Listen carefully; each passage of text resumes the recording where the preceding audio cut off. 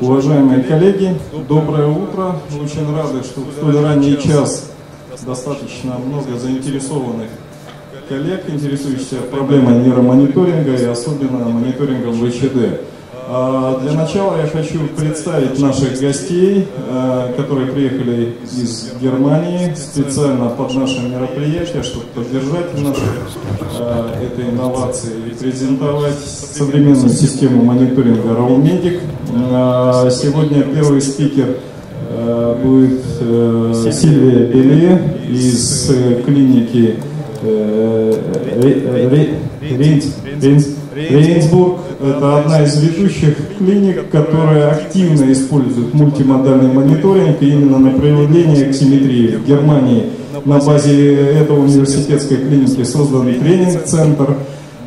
Сильвия Бели является экспертом, мастер-тренингом, и обучение специалистов всей Германии проводится именно через этот центр. Потому мы решили пригласить данных экспертов. Если у кого-то будут персональные вопросы, пожалуйста, после мастер-класса презентации. Э, если есть интерес, можете персонально подходить вот к этому замечательному столу, где полное оснащение, задавать вопросы. В первую очередь, я думаю, нейрохирурги должны задать вопросы насчет болт-систем, насчет аксиметрии. Если есть э, четкое направленные интересы, пожалуйста, спрашивайте. Итак, себе или please.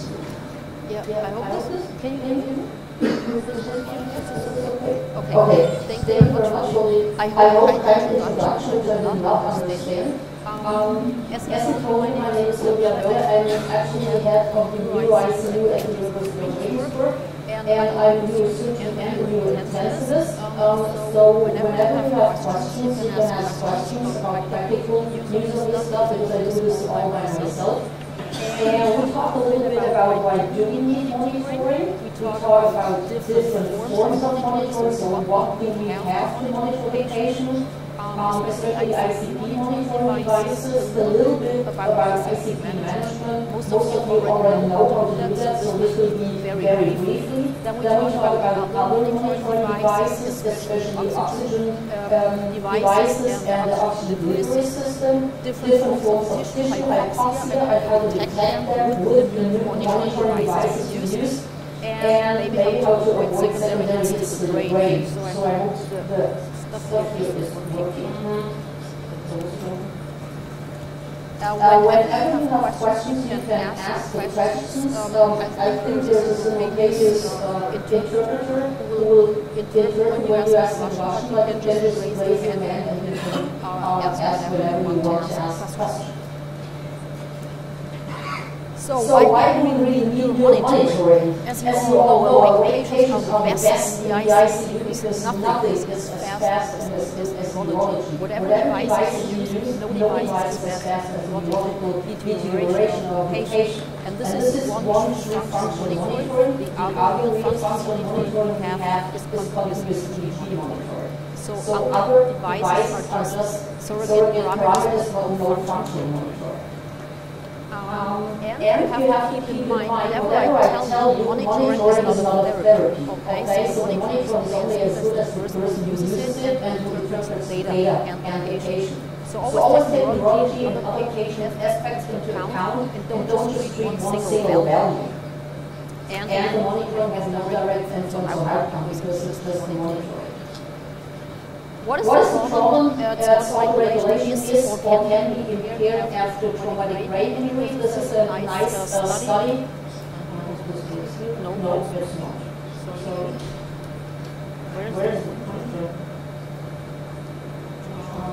Okay, sorry. Um, um, this is a nice study done by Chesnut et al. Just, just want uh, just to remind you, when you have no secondary injury, the death of patients after fluoridation is about 22, 27%. If you get hypoxia, you end up in 33% of the patients. If you have hypotension after TBI, you end about like 60% of the death patients, and when you have both, you are about like 75% of death patients after TBI. So uh, this is something we definitely want to avoid. This is what we do in intensive care. But um, there is like a different uh, thought about secondary brain injury because like the primary injury we cannot influence in any form. The real secondary injury takes place immediately after the trauma and we cannot influence that either and it's not avoidable. But what can we avoid secondary hits leading to progression of secondary brain injury? And this might influence outcome getting either this or this.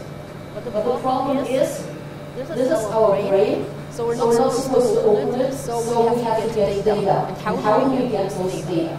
We need, we need monitoring devices. The first, the first stuff we talk about is ICP monitoring, and, and one we are not using in the ICP, but we use on the board, is the PTEL telemetric ICP probe. This is the probe down here, and you show it later on on the table. This is the probe down here. We do that in the operating room.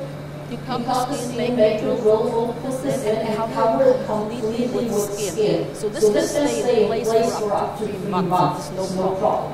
Why, why, why do we use it? We use, we use it when prolonged ICP monitoring is needed. For example, if the patient has a complex CSF like complex form of hydrocephalus, you don't know does he need shunt, does it don't need shunt, so you want to measure. And it's easier to measure a patient, especially at night when there's no to catch. If there's no to catch it uses RFID technique, and like in the morning, you use this um, reader put it over the device, and then you get the data like ICP, ICP, different waveforms of ICP, and you can use this really up for month. The patient can even go home with this device. So this is pretty easy to use.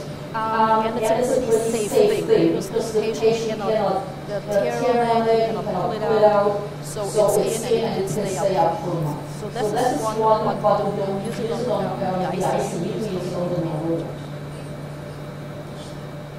and then here is the data logger, and now you can just put this little device on top of it and get all the data and the data logger, and then you check, check the data and do it via several time points so that you can like, later check different waveforms, doesn't have to waves, don't have to waves to decide if patient is or not.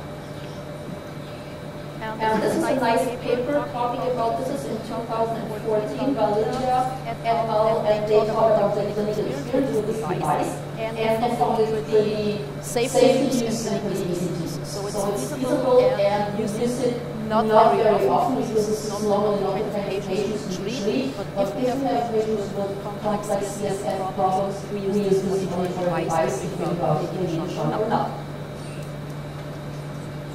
So, but if the patient is not awake and we don't use this kind of monitoring, um, we use other devices. Sorry, this is crazy. So, so we have different categories. First category we have the cerebral hemodynamics. We use normally intracranial pressure. You can use cerebral circulation, for example, like the CEF monitoring, um, cerebral blood flow uh, by Kinetics. We use a transcranial Doppler. You can use perfusion scans. Then, then you have the complex of metabolism, where we talk about mostly the oxygen and the invasive part of it. And then you have the functional monitoring, which is continuous EEG monitoring. You can use brain mapping, you can use people potentials, which is pretty tricky on the ICU because normally they are disturbed and the waveforms are not that to interpret. So uh, most of the time we use the EEG monitoring if we want to have um, functional monitoring. So we have multiple forms of uh, brain injury. This is just some examples. And this is clearly not influence what happens immediately after the trauma. But we can try, even after subarachnoid hemorrhage, we can try to improve the rest. And why do we need that? We want to avoid secondary brain injury, so we need information about cerebral blood flow, we need uh, information about oxygen and energy flow here. So, so now, we come to the cerebral dynamic monitoring. We have, we have different options. First, First option is you can use an epidural or a subdural measurement device. Just like here, we can use the epi or you can use intraparenchymal. This is what's most widely used. I think it's most widely used here. This is uh, in Europe the most widely part. And you can do intraventricular. This is This is something some used very often too, especially in AH SAH patients. So, this is the first thing. This is the uh, epidural uh, measurement probe. We We can, can uh, show show everything everything in detail on the table and in between sections you can can show it on the camera so that you you never never will look at the different probes better than on the slides slides here. here. We use that use that very very rarely. rarely. because, because, uh, um, Often there are problems, there are blood clots or something like that. And the, probe doesn't measure, but can be like on high ICP, have intravenous hypertension, for example, if you have epidural trachoma. And sometimes the probes are um, disturbed by a blood clot, so uh, it won't measure correctly. This is the normal thing we use in the movement. E probe, this is the intraparenchymal probe we use. I show you pictures of how to implant later on. Um, this is the most widely used one. And then we have the ventricular catheter, it's a new ventricle, so we have uh, a double catheter, so this one is here for ICP measurement, and this part is for drainage. And And I tell you about the advantages of, of this later on. What's, What's the advantage? Like, like we have a continuous, precise measurement independent from the position of the transducer.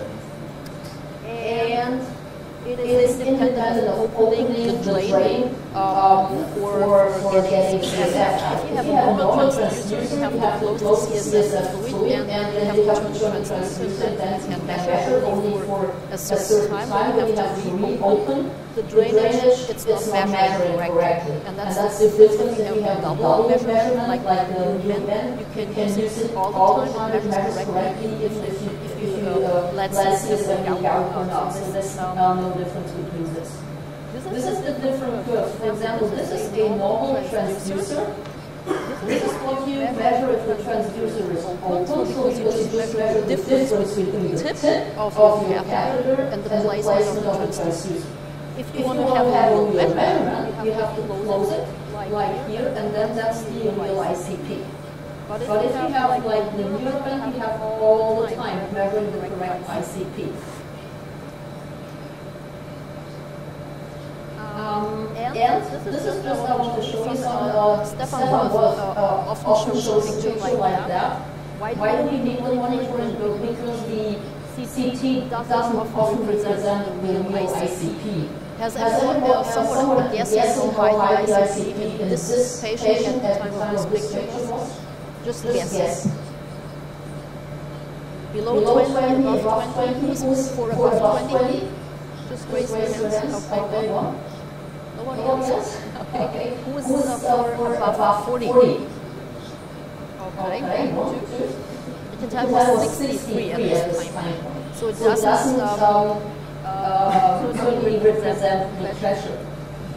And, And if you uh, have your monitoring device on, you have to figure out you not only um, see the numbers, the measurements, but you have to check the waveforms. This is a normal ICP waveform, and this is an abnormal form. So you, you'll lose the third wave, and you see the difference, and you have to watch really how the waveforms look. You can put that on the monitor, um, MPRTW, you can look at the waveforms, not only the, uh, the numbers, you can switch to waveforms. So this is very important to do. I think it is is done, done in your um, part of uh, medicine too. ICP ICP monitors monitors perform regularly in those centers because the probe placement is easy. It can be done on the ICU. So you see some pictures how we do it on the ICU. You can have an ICP controlled therapy as recommended by the Trauma Foundation, our guidelines. Uh, but then the question arises: you have a TBI patient, you, use a EVD probe like, like ventricular ventricular drainage was was used regular. rectal probe. There are different, opinions about that. There are some studies, for example, this one here, World Neurosurgery, They they prefer, um, um, using the drainage because they showed that they have less um, refractory intracranial hypertension, like 51 percent versus 21 percent. 21 percent is if you use a and you can um, just, just let some CSF out. And they have a better outcome. But there But there are other studies showing that that using a a drainage drainage is bad for dilation. So So this is like like a a belief, form form of of belief. So So we most of the time we use the normal intracranial probe and not the ventricular probe in ICU patients, but I think this is really what you what you believe. believe.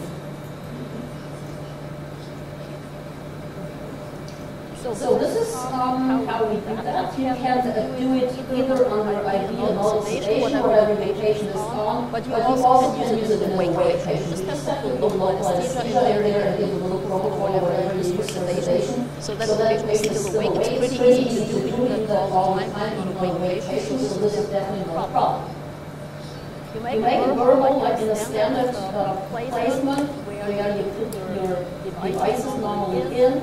And uh, we do place it on the more affected side. And each should be um, location estimated from the CT scan, like, like this here. So close to to the, the trauma, we we think there will be the most trauma.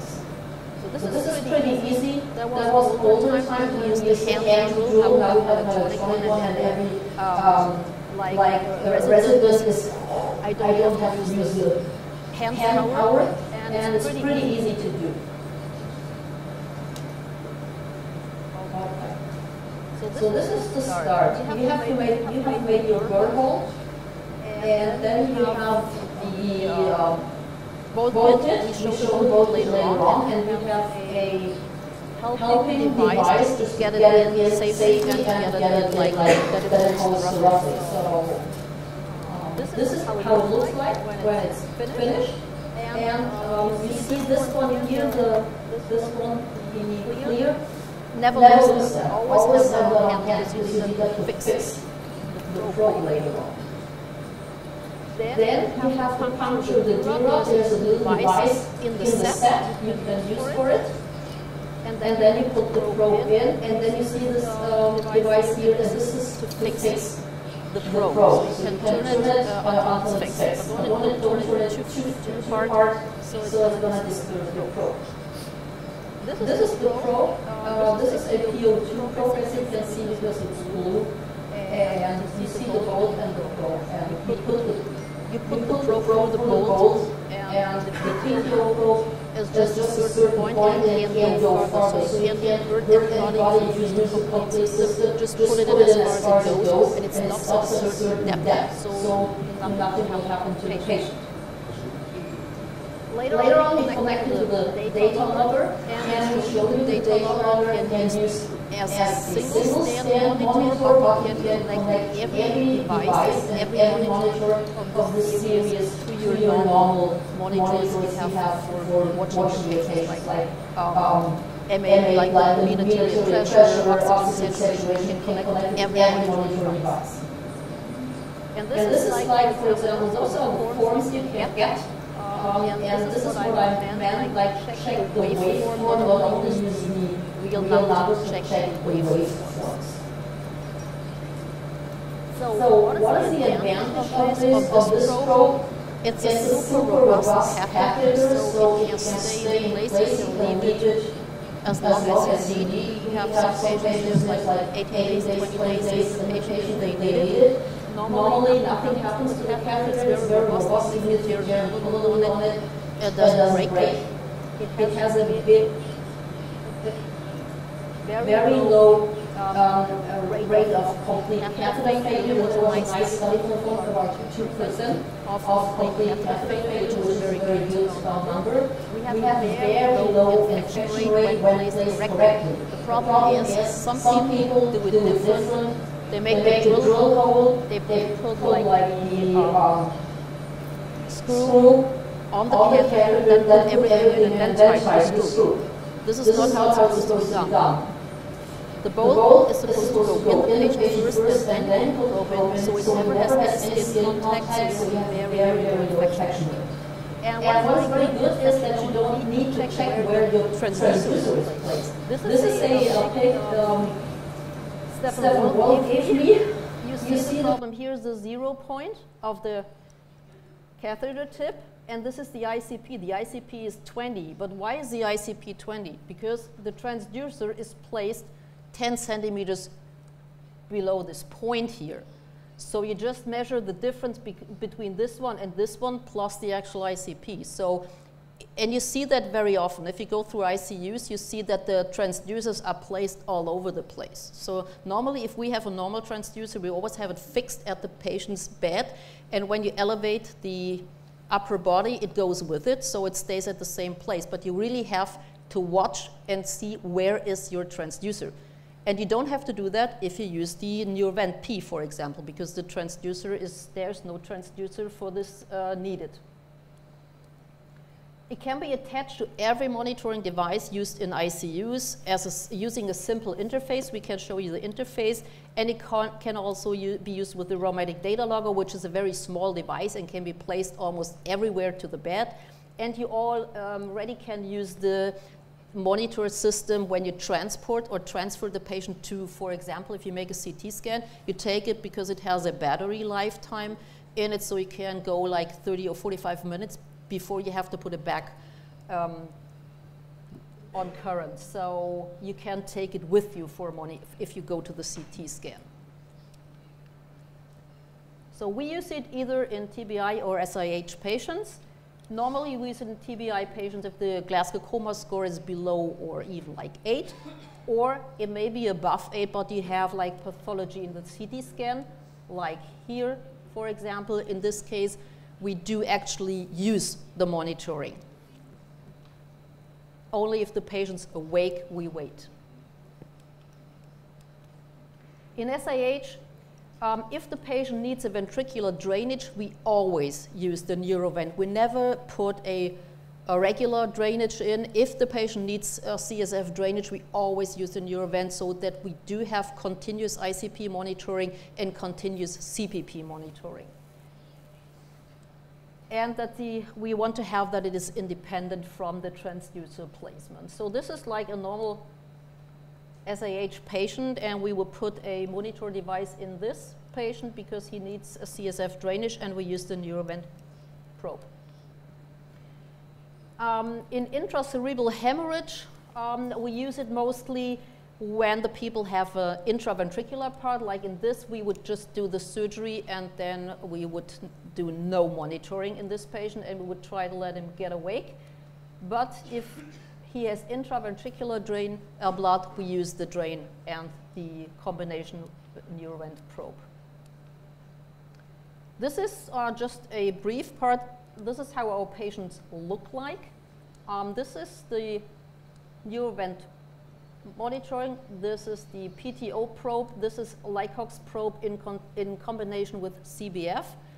Um, and okay, and near infrared monitoring. So this is what a normal patient looks like in our ICU ward. So what is the standard? I think it's a standard everywhere, I hope at least. It's I ICP and continuous arterial uh, blood pressure management so that you can uh, use ICP and CPP controlled therapy as it is recommended by the Brain Trauma Foundation guidelines.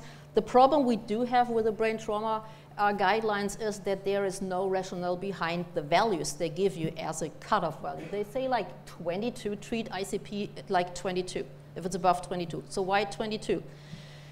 There is no rationale behind it, and there is no level one evidence or no good evidence just to make this point as a cutoff point. If you use 20 in your clinic, 20 is okay. We use 25, so, or if the patient is symptomatic. Um, and the other th thing is like the CPP between 55 and 70. We come back to that later. Um, if this is okay or is this recommended or should we do it differently? I personally think not every patient is the same and you should treat every patient like individually. But uh, this is, um, we come to, to that back later too. The funny thing was the BEST:TRIP paper, um, BEST:TRIP trial paper by Randy Chesnut brought a real turmoil into like the ICU or neuro ICU world. Maybe everybody of you already know it. So there was a paper um, done in third world countries and the result of this was um, that you don't need an ICP monitor and that you don't need ICP guided treatment. You just need experience in treating ICP or traumatized patients. Um, and then you're as good as the ones that use ICP monitoring. So um, everybody was like, oh, we don't use that anymore. And I was asking everybody on the next conference, yeah, just sell me your ICP monitoring very cheap if you don't use it anymore. Uh, after this trial, everybody was like, mm, nah, maybe not. Also, you still use it. Hmm.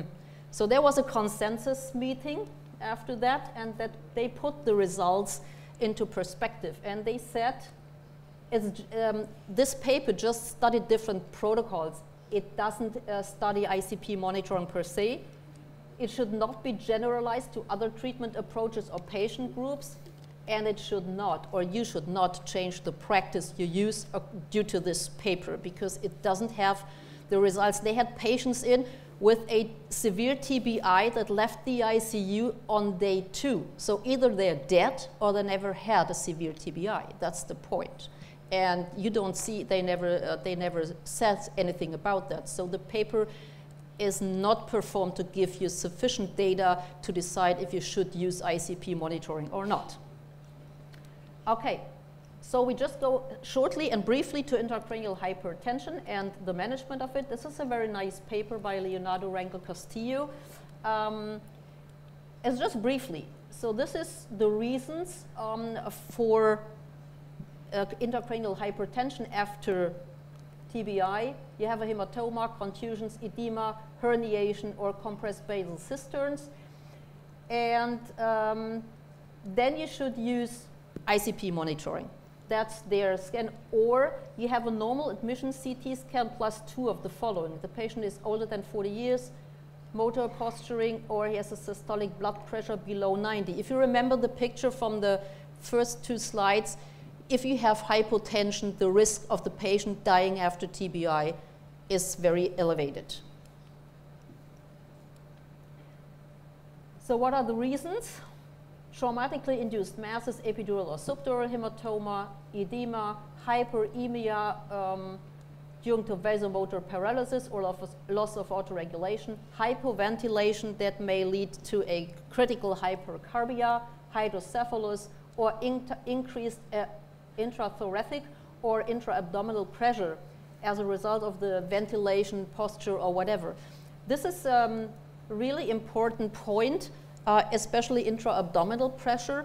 We tried to measure that with a esophageal probe, and it's very difficult. And you see if the intra-abdominal pressure is elevated, the ICP goes up, and it's very, very hard to treat. If you don't get the intra-abdominal pressure down, ICP is very hard to treat.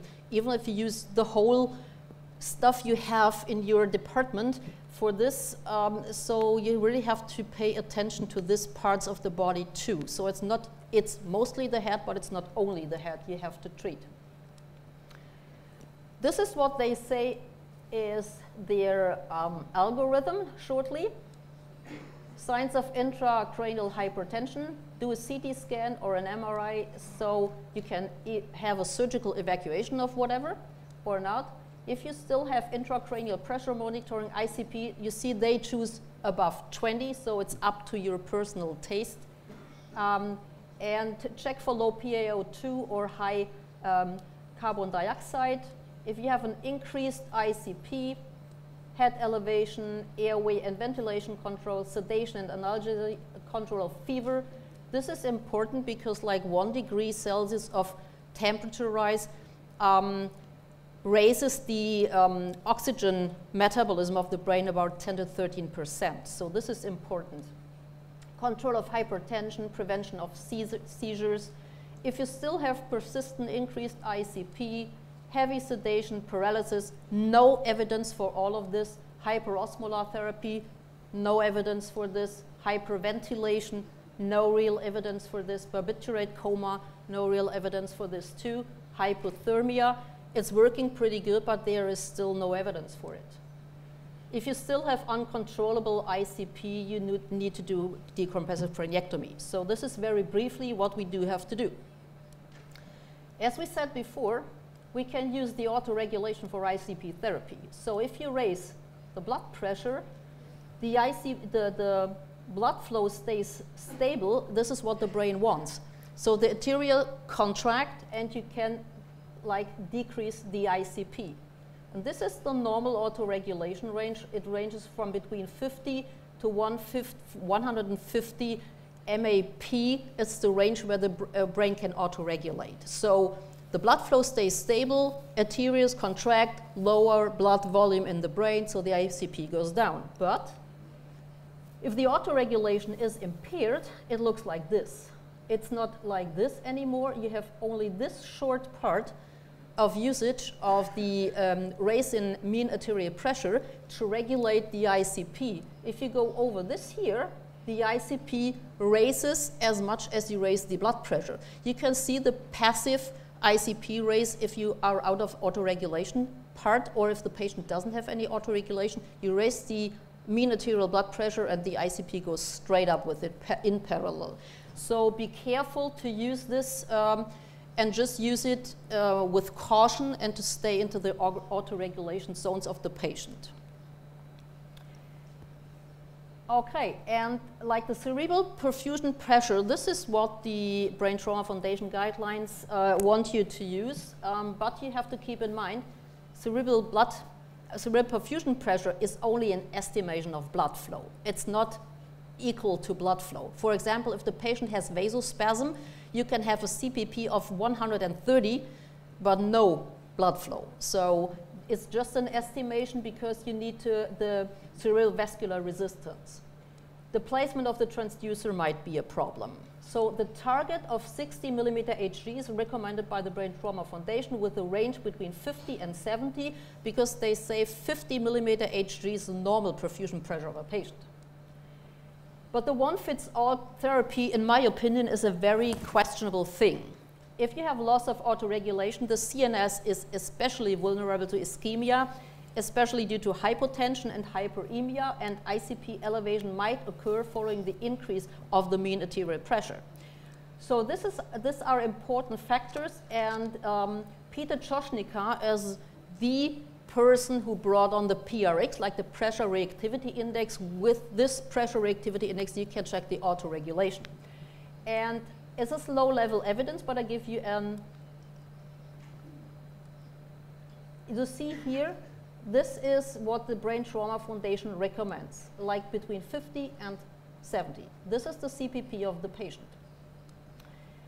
And if you see the autoregulation here, like when the numbers are below zero, you are in good autoregulation phase of the patient. And if you check this here, the autoregulation optimum would be here, would be a cerebral perfusion pressure of 90. So if you stick to this 50 to 70 and say this is okay, most of the time the patient is in an ischemic range and out of autoregulation. So this is not what you're supposed to do. Not just take one value for every patient every patient has to be treated individually, and the use of things like uh, the pressure reactivity index um, is helping to um, optimize the treatment for the patient.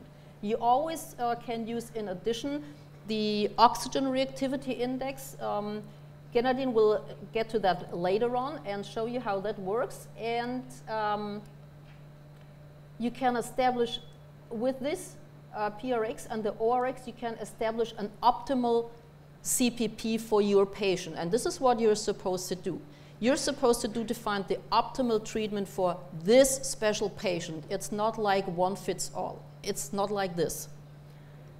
The Brain Trauma Foundation guidelines want to tell you that, that it's okay if you use that, but in my opinion, it's not okay, and a lot of people um, trying to uh, change this. There was the, C I think there, I don't know if you know about, there was the Seattle Consensus Conference about how to treat patients because the people don't know what's the rationale behind the Brain Trauma Foundation values here, okay?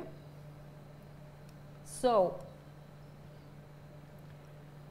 do we need additional monitoring? So is it okay to just use the ICP and the CPP? I already told you it's not um, because the CPP does not directly represent the CBF, it does not represent the cerebral metabolic rate, and we do need other parameters because the ICP might be a late and very insensitive indicator of secondary brain injury. And uh, multiple papers reported improved outcome when using additional data such as uh, oxygenation. And so the brain oxygenation might be a much better indicator for a secondary uh, brain injury. Um, we make a short break now, and Gennadine will show you the different probes on the camera so you can see them better and the connectors we use. Um, or, you want to, or do you want to do that at the end of the presentation and see all the stuff together? What do you think it's better? What do you think it's better? Uh, do it right now and show the different probes on the camera or do it at the end of the presentation?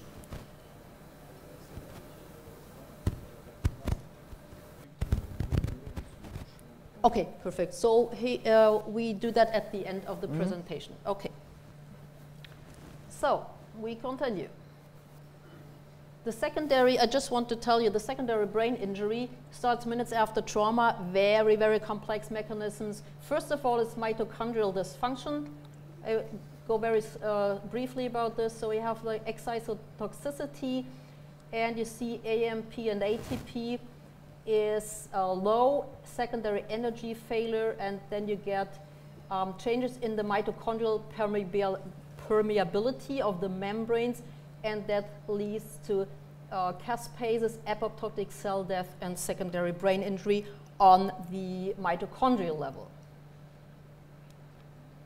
The next is microglial invasion that leads to inflammation, to brain edema. There's a trial going on um, using minocycline. It's an antibiotic, uh, using that after TBI, and they show some promising results in reducing inflammation, invasion of microglia and uh, inflammation and the apoptotic cell death. That's the second part of it.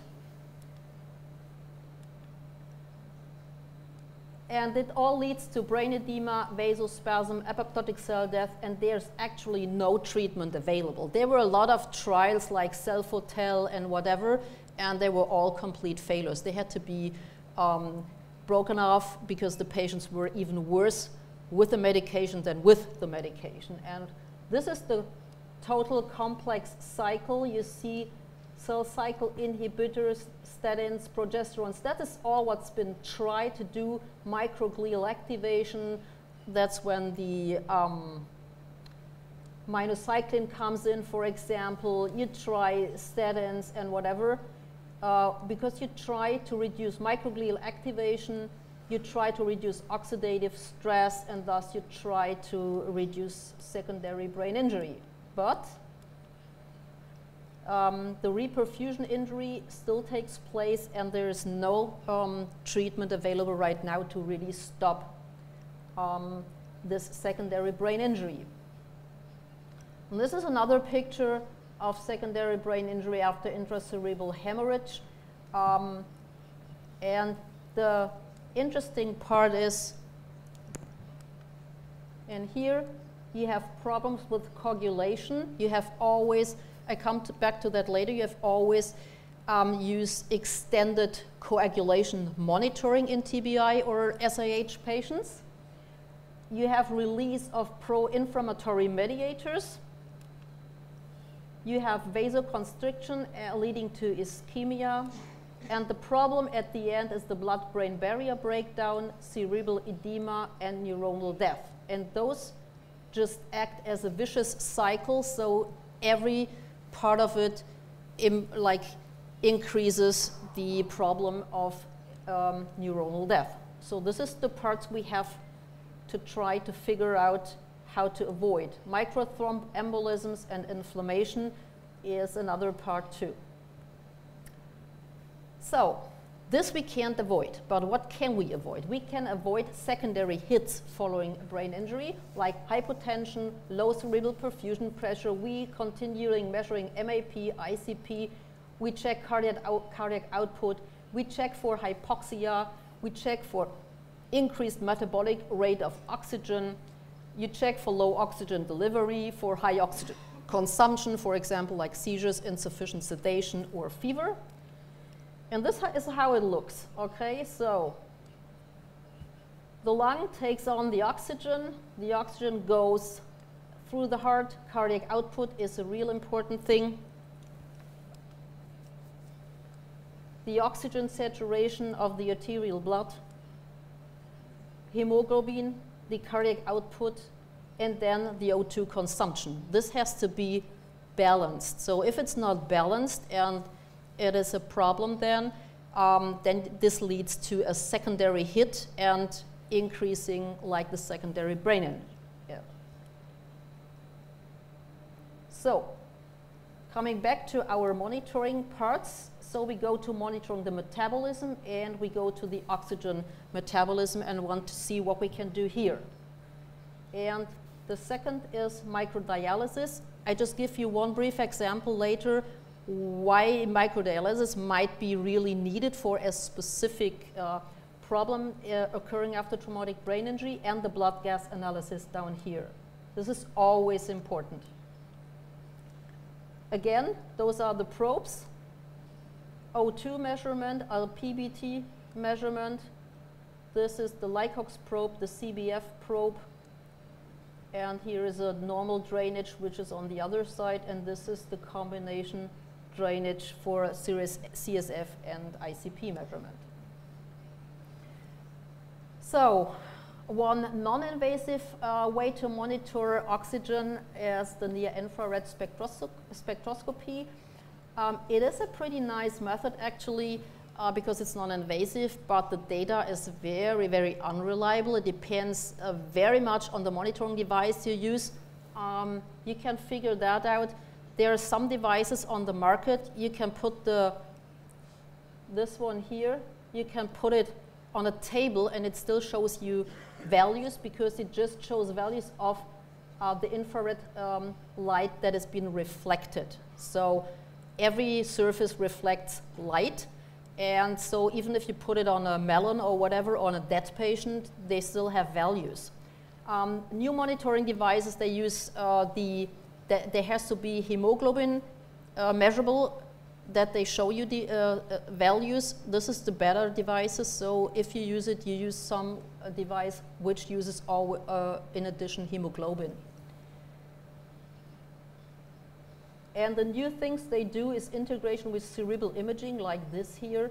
Um, we don't use that. Uh, it didn't work out for us at our clinic, so we tried to optimize and use, um, for example, uh, perfusion scans uh, with this uh, monitoring, but it didn't work out. So we use it if you want to measure uh, the cerebral, anterior cerebral artery sometimes, and we don't want to have invasive monitoring, for example, if the patient is on anticoagulants and you can't do something invasive. Then we use it, but normally it's just an additional monitoring. What do we use normally? Invasive monitoring, there are two different uh, probe forms.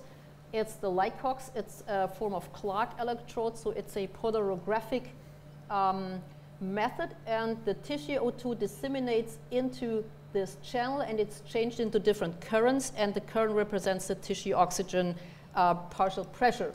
It uses potassium ions, but the problem is if the potassium ions are used up, you don't get any correct measurements. The company guarantees correct values only for a time up to five to seven days. After that, they can't guarantee you any correct measurements. And the problem is the probes need to be stored in the fridge.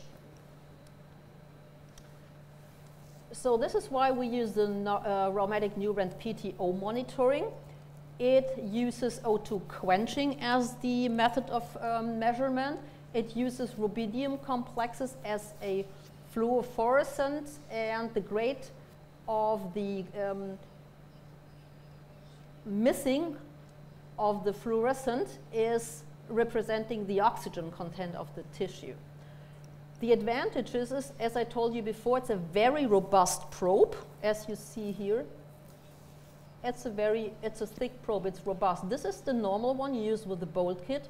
This is the longer version. This one you can tunnel. If you don't have a bone flap or if you don't want to use a kit and you want to tunnel, you can use this um, oxygen probe because this is you can tunnel it and we use it in patients with no bone flap, for example. You don't need to cool it, so you can just put it in every shelf you want to. You have a longer period of use in patients. It measures ICP, temperature, and oxygen in one probe. Like if you use the Licox, it measures temperature and it measures oxygen, but it does not measure ICP. You, you need a second device to put in to have the ICP.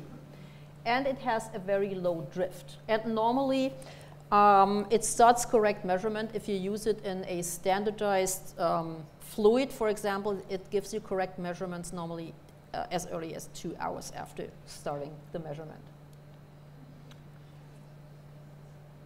This is the Licox probe. It is super thin and it is very, very flimsy. So if you put it wrongly or just put it on the Dura or so and it just gets bent, it can be broken or defect and maybe you don't get any normal measurements. But this one, you just can't put in. You put the drill in, put the screw in, and then just put it as far as it goes. So it stops automatically, so you can't put it too far if you use this one here.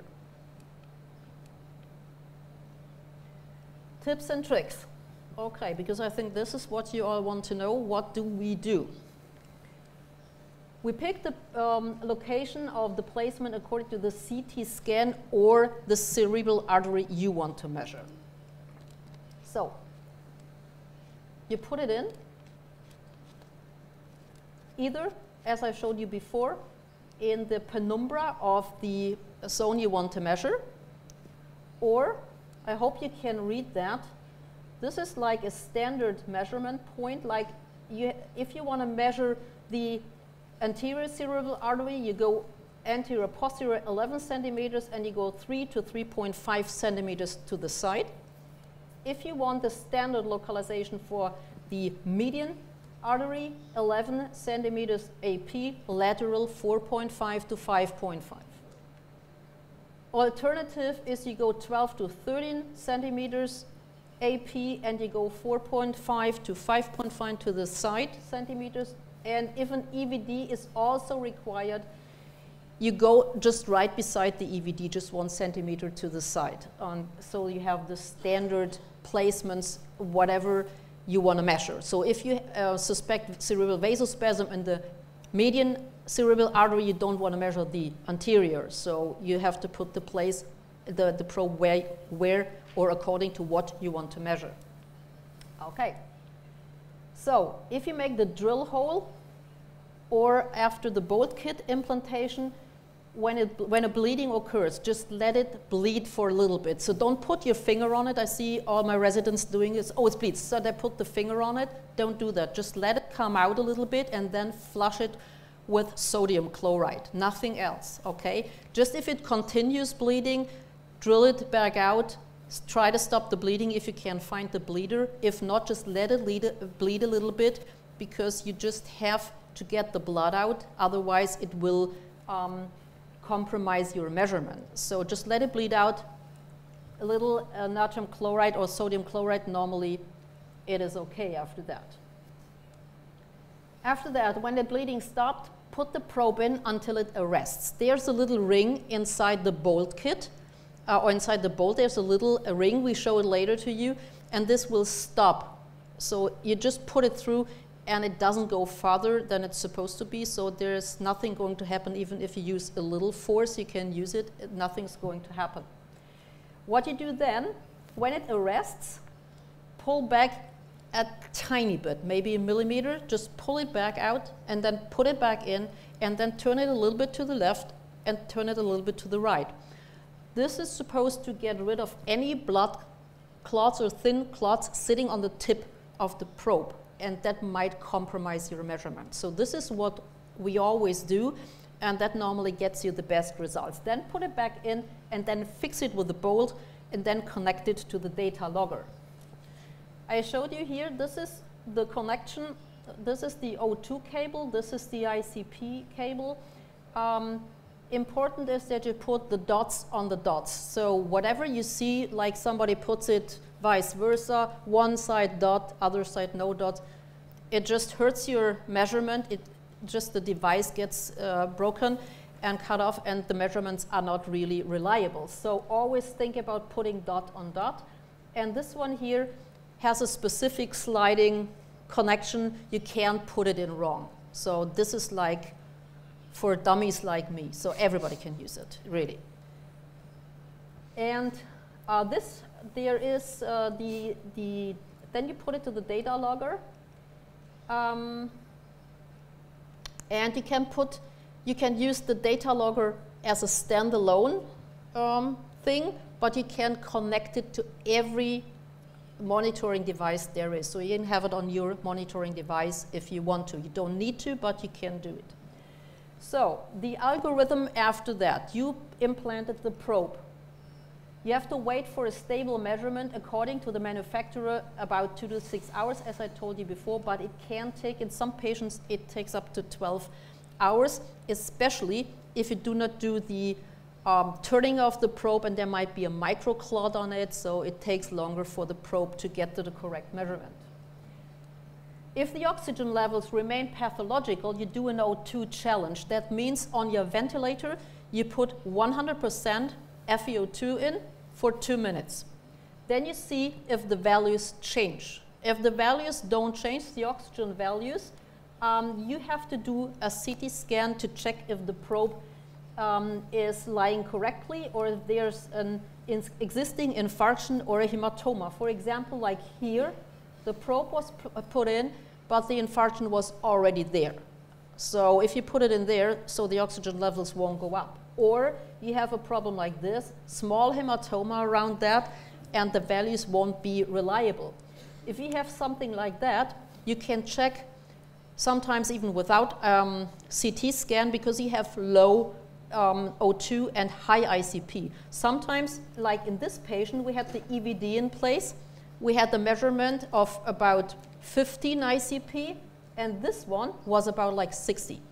So there has to be a mismatch, and I suspected that there would be a hematoma like that just uh, from the different values we got. But if you don't have a second device in place, you have to perform a CT scan and see if this is um, the problem. If the CT scan shows no pathology for the low PTO, so no hematoma, no infarction, um, sorry,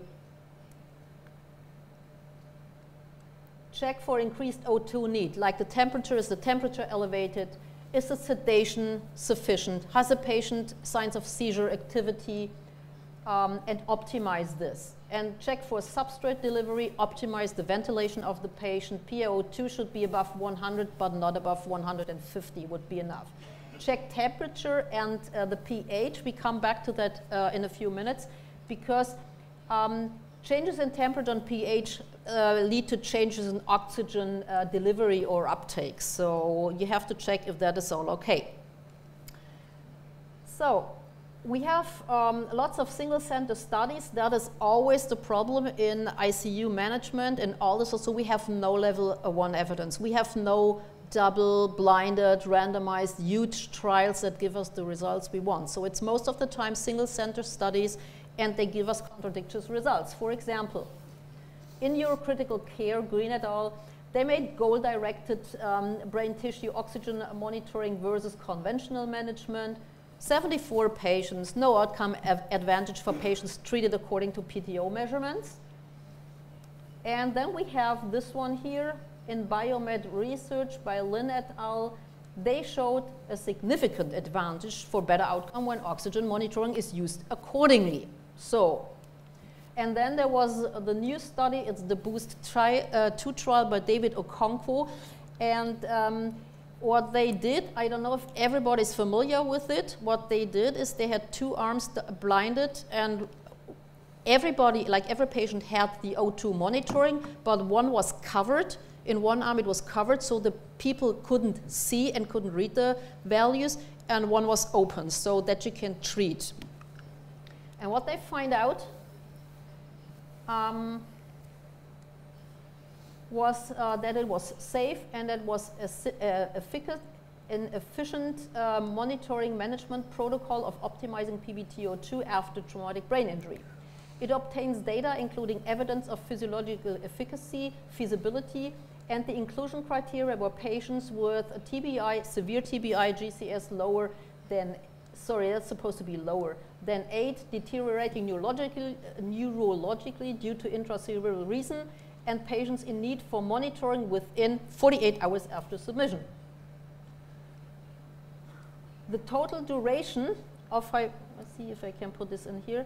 So what they found out, that, that, that the total duration of hypoxia was reduced by 66%. As you see here, this is the area under the curve. This is the ICP, uh, the area over the curve. This is ICP only, and you have this big area of hypoxia. And this is um, PbTO2, and you have a very low um, hypoxia burden here. And the reduction of average depth of hypoxia was around 72%, as you see here by the area under the curve. And this is the outcome. This is the outcome, the uh, extended GOS outcome after six months. And you can see here, ICP only, 34% of dead patients, and here is like uh, 25, 25% of dead patients. And I don't know if you know the Rescue ICP trial. This is the outcome of the Rescue ICP trial, um, where you just took out the bone flap and you see the surgical group had a lower rate of dead persons, but they have a way higher percentage of uh, severe disabilities. And this is not the case with the BOOST trial. So you see, they even have more patients in the better outcome group uh, despite the fact that you have lower death patients. It's not like here where you get more patients with severe injury after or like a very, very um, severe disability. Those are the patients that don't die, they survive, but they survive with a low disability, with a low uh, severe disability score. And this is not the case at the BOOST 2 trial. So it was a very um, su su successful trial. and The BOOST 3 trial is already ongoing in the States. So this is what we do according um, to actual studies in our ICU. If patients with severe TBI come in, we do extended coagulation testing, including factor, factor 13. That's what we always check. We do ICP and PTO management in every trauma patient with severe traumatic brain injury. We check mean arterial pressure and we use the cerebral perfusion pressure. We use ICP treatment if ICP is above 25 millimeter Hg for more than five minutes or patient shows signs of elevated ICP like dilated pupils or being bradycardic or whatever. We use the standard ICP treatment options as the ones I showed you before, and elevated CPP according to the PTO values and the ICP. So we have like four different categories. This is the PBTO2 or PO, PTO, it's, it can use, if it's above 15, others use 20, we, we use 15 as a cutoff. And the ICP is below 25, it's a type A patient, so no intervention needed in most cases. PbTO2 is normal. Oh, this is, sorry, it's supposed to be 25, not 225. Uh, it's type B. Our interventions are directed at lowering ICP and nothing else. We have type C. PbTO2 is low, but ICP is normal. We do our interventions directed at increasing PbTO2. And if you're in this category, like type D, um, high ICP, low PbTO2, the interventions are directed at both, like lowering ICP and increasing PbTO2. In SAH uh, patients, we add a little bit to it, like a 5 or 12 channel ECG is always done, and we do additional testing of cardiac parameters like troponin E or creatine kinase um, if a ventricular drain is needed, we always use the Neurovent to have continuous ICP management. When patients deteriorate and uh, transcranial Doppler is uh, suspicious of uh, cerebral vasospasm, we, we use the mono H therapy like it was triple H years ago. Then it went to double H, and now it's only mono H therapy. It's only hypertension. So fluids, it's out of the discussion right now and maybe even the hypertension uh, care might go out of uh, the regular treatment according to new studies. Oral nimodipine is clearly what we use. We try to increase the cerebral perfusion pressure, for example, if the patient shows neurological deficit and is awake, we try to increase using catecholamines or fluid and try to increase the CPP until the neurologic uh, deficit disappears. Sometimes uh, CPP up to 130 millimeter Hg is necessary. So it's not very healthy for the patient, but we say brain is, uh, you, you better have your brain in a hole than your lung or your heart. So um, if no improvement or patient deteriorates uh, and needs intubation, we go to the CT scan and check for other reasons beside cerebral vasospasm, so hydrocephalus, bleeding, whatever. Um, if CV is suspected, patient comes back to the ward. We introduce the multimodal neural monitoring using ICP, uh, PTO, and CBF and temperature always be hemispheric because we had bad experiences when we started to use it only on one side. For example, you have a TCD value of 230 centimeters per second on the right side and normal on the left side. You just put, we just put it in on the right side. Two days later, the left side was high. Then we put the probes in there. They showed ischemic values, and we went to the CT scan, and the patients had already infarctions there. So we started to use it on both sides.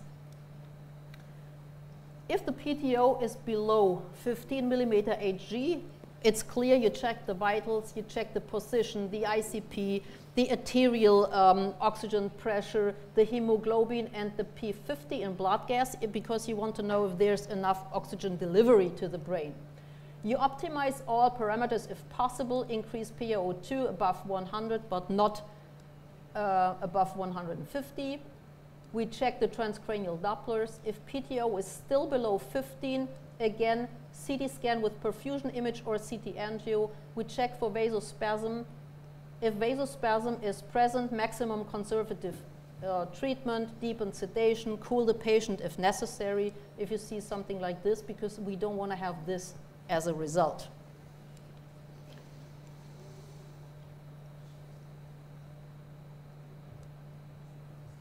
We have, um, when you have like done everything what's in your arsenal on conservative treatment, you have to uh, resolve or you have to go to something else. You can use experimental treatment, you, you, you, can use invasive treatment, for example, balloon angioplasty if you have a short um, part of uh, CV, for example, like in a central part of the artery. But what we do is um, we use continuous intra-arterial nimodipine administration. Um, I come uh, back to that in a few seconds. And we use um, treatment, uh, additional treatment of cooling to 35 uh, degrees using uh, um, venous catheter for cooling. What you can use um, is, for example, experimental treatment. You can use ketamine to avoid co uh, cortical spreading depolarizations.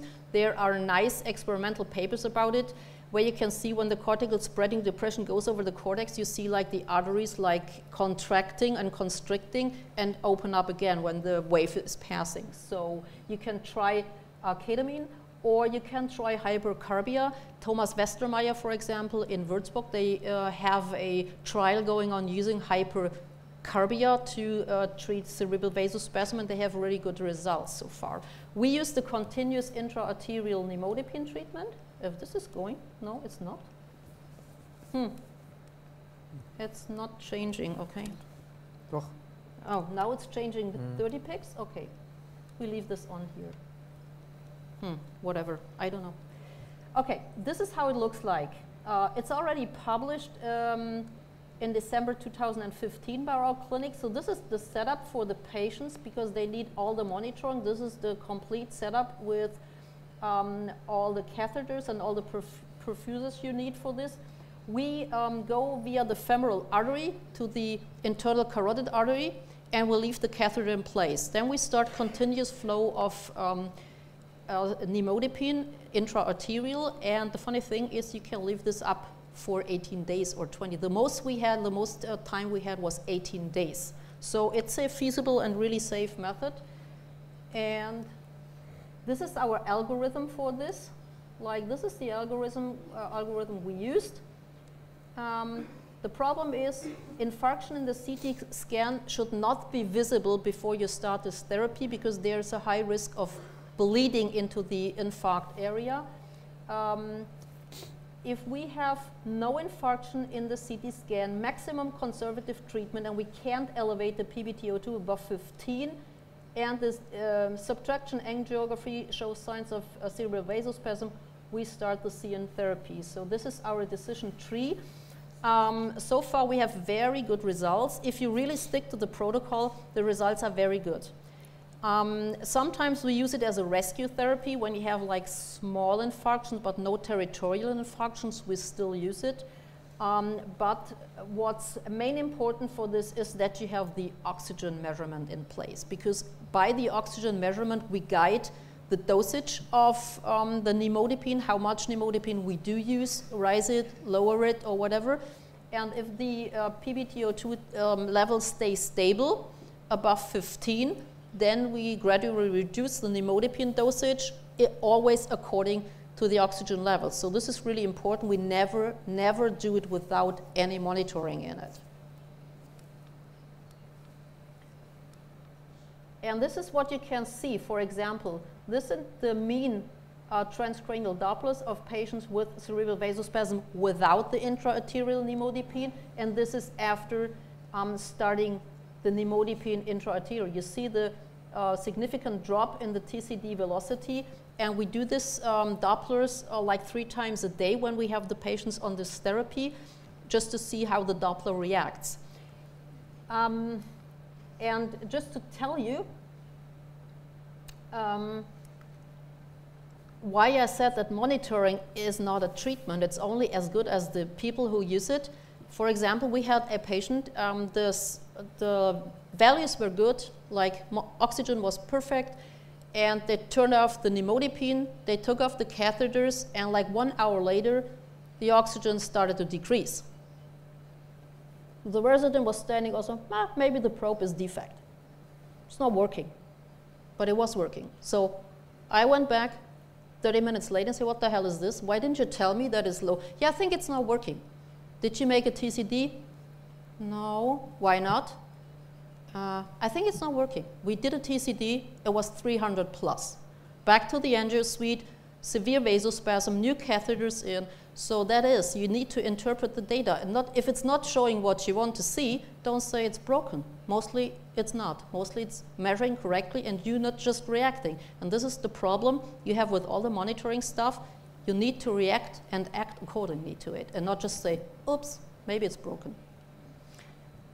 So this, just take this in mind or keep this in mind. And why may it be? As I told you before, we have like different forms of oxygen um, monitoring. We have different studies. They all show different results. Why may that be? This may be that there are different forms of tissue hypoxia. Some forms of tissue hypoxia we can't even detect. Even if we measure like 20 different things, we can't detect. I show you some examples for it. And extracranial complications may lead to difficulties main maintaining uh, sufficient uh, blood pressure or oxygen delivery. As I said before, this is the system. This is a complex oxygen delivery system to the brain. And it's dependent on the ventilation and the perfusion of the lungs. It's dependent on the hemoglobin. It's dependent on cardiac output. It's dependent on the CBF, like cerebral vascular resistance, for example. It's important what happens in the capillaries.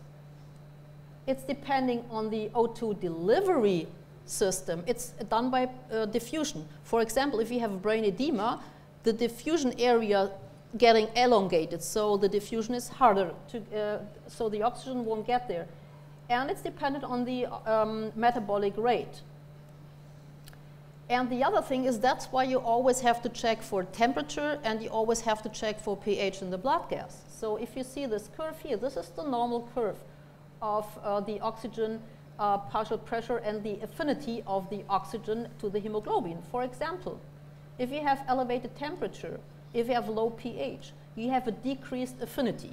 That means the oxygen uptake in the lung is reduced, but the oxygen you get is easier given to the, the tissue in the brain by diffusion. On the other hand, if you have decrease in temperature, high pH, you have a high affinity of oxygen to hemoglobin. So its uptake from the lung is better, but the diffusion is worse. So because it sticks, it want to stick to the hemoglobin. So the diffusion part is worse. So you have to balance that out and try to find the optima, uh, optimum pH and the optimum um, temperature for the patient.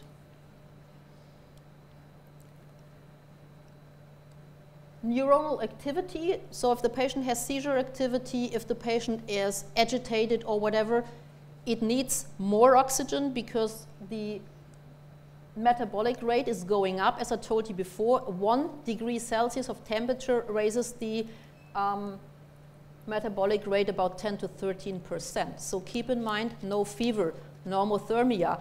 This is a, a problem um, of other studies too, like for example, if you want to cool the patient, what is normothermia? Some say it's 36.5, some say it's 37.0. So this is another problem. So you have to set for yourself what is your normal temperature. We choose 36.5 degrees and we don't want to have the patients more than 36.5 degrees if they have problems with the oxygenation. And what you see here, cerebral blood volume goes up if CBF rises, ICP goes up, for example, and this is all covered by autoregulation. But the problem is if autoregulation is not intact, you might have a problem. And one guy who found that out was Siggaard-Andersen. There's a beautiful paper. It's like very old, 1995. I don't know if it's even still available. I, don't, I really don't know. And he found out that there is seven plus one forms of tissue hypoxia falling into three different classes depending upon the effect on the critical mixed venous uh, PO2 and the optimal oxygen consumption rate like OCR. Um, And he found out that there are three classes, like class A hypoxia, it's a primary decrease in the mixed oxygen uh, pressure and the OCR is normal. Ischemic hypoxia is one part of this, like decrease in cardiac output, low blood flow in the brain arteries or whatever, and the low extractivity hypoxia is class A. Class B hypoxia, there is a primary increase in the critical mixed venous um, oxygen pressure, for example, shunt hypoxia, dysperfusion hypoxia due to microembolisms, histotoxic hypoxia by inhibition of cytochrome chains. And the third form is the class C hypoxia, primary increase in OCR and mixed venous um, oxygen pressure is decreased. This is uncoupling hypoxia or hypermetabolic hypoxia. So, and then you see this here, Ischemic hypoxia is measurable, low extractivity is measurable, shunt hypoxia you can't measure, no, not possible. Dysperfusion hypoxia you can measure. Hi histotoxic hypoxia, uncoupling hypoxia you can't measure. So if this happens, your values might be normal, but the patient is still suffering hypoxia. So this is, the, this is a problem. And hypermetabolic hypoxia you can measure. I give you just a few examples and, uh, and show you what you can see if you use oxygen monitoring and you use uh, your blood gas analysis and maybe microdialysis. If you have ischemic hypoxia due to low cardiac output, might be impaired left ventricular function, neurogenic myocardial injury, that's the new name for a subform of Takotsubo cardiomyopathy, um, or stunned myocardium, you can have an active bleeding, or you have low cerebral blood flow. Due to low cardiac output, you have an embolic vessel occlusion, cerebral vasospasm, or you have a low CPP and a high ICP. So what do you monitor? If you have oxygen monitoring in place, you see that the PTO or PBTO2 is low. The CBF, if you measure it, is low too, and lactate or lactate pyruvate ratio is high. ICP can even be normal in the beginning. It raises up later on when, uh, when edema starts to get in. But this is what you can measure. And this is something you can treat. First of all, you can in, uh, improve cardiac output. Due to volume, catecholamine use, you can increase CPP or CBF. Keep in mind, as I told you before, stay in the auto regulation rate like this. Don't get out of over here, so because then you harm the patient more than you just be good. you can decrease the ICP if necessary. If there is an embolus, you can use embolectomy, you can use lysis. Um, this is pretty hard to do if the patient has real traumatic brain injury because the anticoagulation might increase like uh, hematomas or whatever you have. Or you can try to resolve cerebral vasospasm as, you as I told you before. The next thing is low extractivity hypoxia. So you have a decrease in oxygen extraction tension, PX, and a drop in mixed venous, venous uh, oxygen pressure. For example, you have a low PaO2. This is hypoxic. You have a low effective HB, like hemoglobin concentration. This is anemic hypoxia. You have a low 50% uh, saturation, P50. This is called high affinity hypoxia. So when you change to this one here. Um, or you may have hypothermia or discrete of um, phosphates, and then you have, if you check here, if you have a decrease in phosphates, you still have a high affinity hypoxia. So the oxygen stays at the hemoglobin, so it doesn't leave the hemoglobin and doesn't go into the tissue. This is your calculation you do uh, for the px.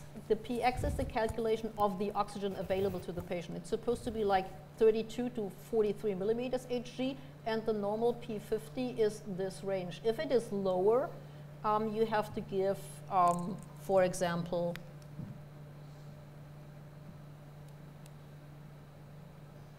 um, if this is too low or if you're in this um, part of hypoxia, the proof is only neuromonitoring combined with arterial blood gas.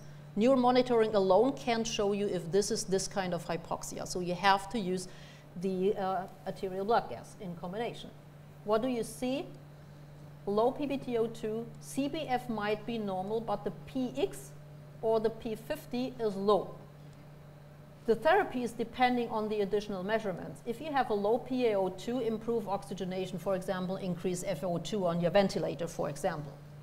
If you have a low HB and the PX is below 32, red blood cell transfusion. I know that some people give red blood cells when the hemoglobin is below 10 gram per deciliter, um, but there was a very large paper, a study, I think everybody's familiar with it, um, showing that giving blood cells above 7 grams, uh, above, uh, for hemoglobin above 7 gram per deciliter is leading to adverse outcome in neuro intensive care, in intensive care patients, but there were no neuro patients included. So whatever you use as a cutoff value, we use normally 8 gram per deciliter, not 10. Um, but even if it's higher than 8, if the if the px is low in our blood gas analysis, we give red blood cells because this is what it says um, and what's needed. If you have a low P50 and a low PaCO2, try to normoventilate your patient. If you have a low temperature and a low P50, warm the patient because he, do he doesn't like the cooling. And you have to optimize your pH level. This is the only way you can treat this stuff. When you have a shunt hypoxia, it's an increased arteriovenous shunting, and it, normal, it, it is either normal or increased mixed venous oxygen, but a low end capillary um, pressure of oxygen. So reasons normally, septic shock, pulmonary diseases. What do you see in monitoring? Nothing. If you just use PbTO2 and ICP, you see nothing. PbTO2 and CBF are normal. But if you use microdialysis, you see that the lactate pyruvate ratio goes up. But if you don't have microdialysis in place, the no neuromonitoring doesn't show anything. So the values can be normal, but the patient can be hypoxic. Therapy would be to optimize the ventilator settings and try to optimize the pulmonary situation, treat the septic uh, shock in time, and uh, treat it very, very aggressive. So this is the only way you can save your patient. If you have a dysperfusion hypoxia, we go over this very shortly. Um, you have a decrease, uh, this is an increase, sorry, this is not, it's, a it's an increase in the mean, uh, decrease in the mean diffusion gradient because the the way the oxygen has to travel is longer due to edema and swelling. You have a decrease in O2 flux from the capillaries to the mitochondria. You have a decrease in O2 diffusion even when you have a normal mixed venous oxygen. Um, and the PO2 in the cell decreases until the O flux matches the rate of oxygen consumption. It's either intracellular or interstitial edema. You can have an endothelial edema or closure of capillaries due to microembolisms, for example. So what do you measure? In the monitoring, it shows you PbTO2 is low, CBF is normal, and the mixed oxygen venous saturation is high. If you have CBF measurement in place and you're familiar with it, it shows a K value. K value is a, a tissue value that can change with um, the amount of fluid in the tissue. And if you see a permanent change in your K value, so your CBF monitor is calibrating, calibrating, calibrating, you have to suspect something like dysperfusion hypoxia and um, increasing edema. Check your fluid balance. You have to do a, um, a CT scan or a chest x-ray because the only therapy is negative fluid balance, infusion of mannitol to decrease edema and ICP. You can elevate the CPP or the FeO2. This is what you can do.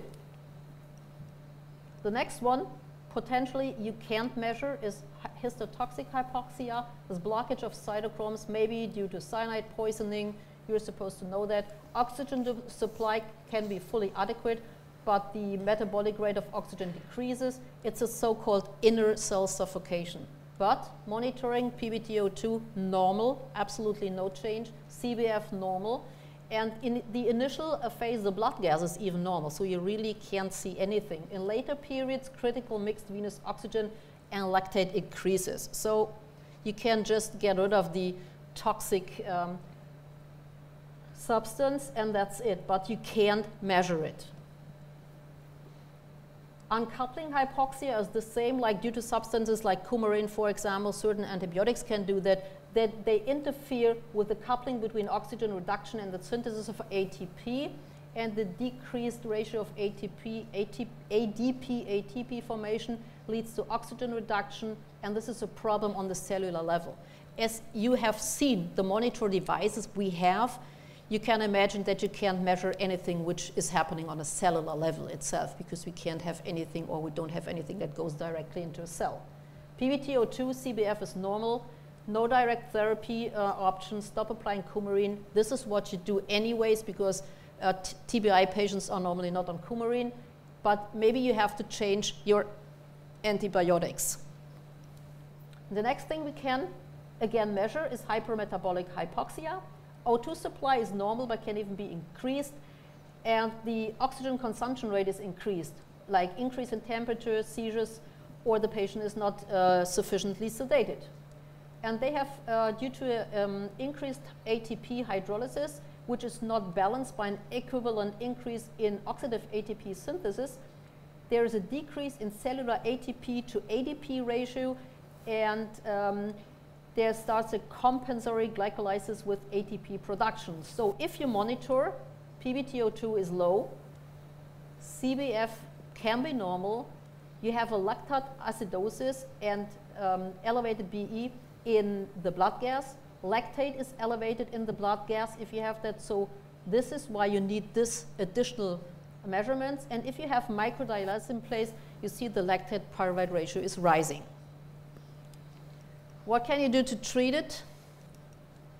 Decrease energy consumption, control temperature, avoid seizures, including non-convulsive seizures, increase sedation, for example. Um, and now I give you one example why microdialysis might be a good additional tool um, in addition to um, oxygen monitoring. Um, there are two different things. Ischemia and hypoxia can appear, but there is something new that's called metabolic crisis. There are a lot of interesting papers about it. Um, they lead to the same problem like hypoxia and cell death, but they are often not distinguished, but they are supposed to be distinguished because the treatment is different. In both cases, lactate pyruvate ratio is increased. Type 1, LPR is increased and the PbTO2 is decreased. So this is what you measure if you have both monitors in place. This is typical for ischemia and a fast loss of energy substrates. But you can have the type 2, LPR is increased, PbTO2 is normal or even increased. And this is due to a mitochondrial dysfunction despite a normal oxygen supply. So you can't change anything. If you give the patient oxygen or whatever, this doesn't change anything. So you have to have both measurements in place um, to distinguish between those two. This is a very nice paper from 2013. They um, tell about the metabolic crisis. Uh, this is maybe just the tip of the iceberg. Um, this is seen maybe far more often than we believe or than we see. And this might be one of the reasons why all our stuff we measure is normal and the patients are bad and the outcome is bad. And this might also be the, uh, one of the reasons for the different outcome results in different studies, depending on how many patients they had in their um, patient setup having really metabolic crisis and not really some hypoxia or ischemia. So the treatment might be different. And if you have a treatment protocol in your study, you don't check for these different uh, things if you just have the O2 measurement in, uh, in place. So this might be the problem why we have the different results. For the metabolic crisis, so far no suitable treat, uh, therapeutic option. Um, there will be no improvement with the ICP and CPP and PO2 guided therapy. Increasing oxygen may even lead to worsening of the patient. So this is, uh, this is the problems we run into if we want to make studies. A new target is the mitochondrial membrane permeability. There is a study using RO54864. This inhibits membrane permeability. It lowers ICP. It improves CBF. Nice study done by Soustiel et al. in 2010. And the second problem uh, leading maybe to metabolic crisis is a tight glucose, uh, tight glucose control. If you run tight glucose control like it is recommended in ICU patients, um, you may, uh, and use high doses of insulin, you may increase the risk for metabolic crisis. This is done um, uh, and shown in this paper too. So the last part we want to go into is extracranial complications. We do this very briefly. Uh, we have the problems in disturbing of coagulation, neurogenic myocardial injury, and pulmonary edema. This might just complicate our treatment that we want to apply according to our neuromonitoring measurements. So this is like a very complex um, um, picture, but the only thing I want to point out is you, you have hypercoagulation, you have consumption of coagulation, and this is what you really should avoid. This is the so-called lethal triad after traumatic brain injury, hemodilution, acidosis, and hypothermia. This leads to an increase of coagulation, an increase of your intracerebral hematomas or whatever. So this is what you really should avoid. So what do we do? We do extended lab testing. As I said before, we always check for factor 13. If the factor 13 is low or you expect the low factor 13, you should always substitute. This is what we do. Optimize the quick fibrinogen, whatever. You can use tronic, uh, tranexamic acid if the TBI or an SAH is less than three hours ago. If it's more than three to four hours, you, you don't need to do it because there is no evidence that is really beneficial for your patient. You should avoid acidosis, hypothermia, and hemodilution. As, as I said, this is the so-called unhappy triad. So, uh, and this le leads to the death of your patient possible. Uh, possible.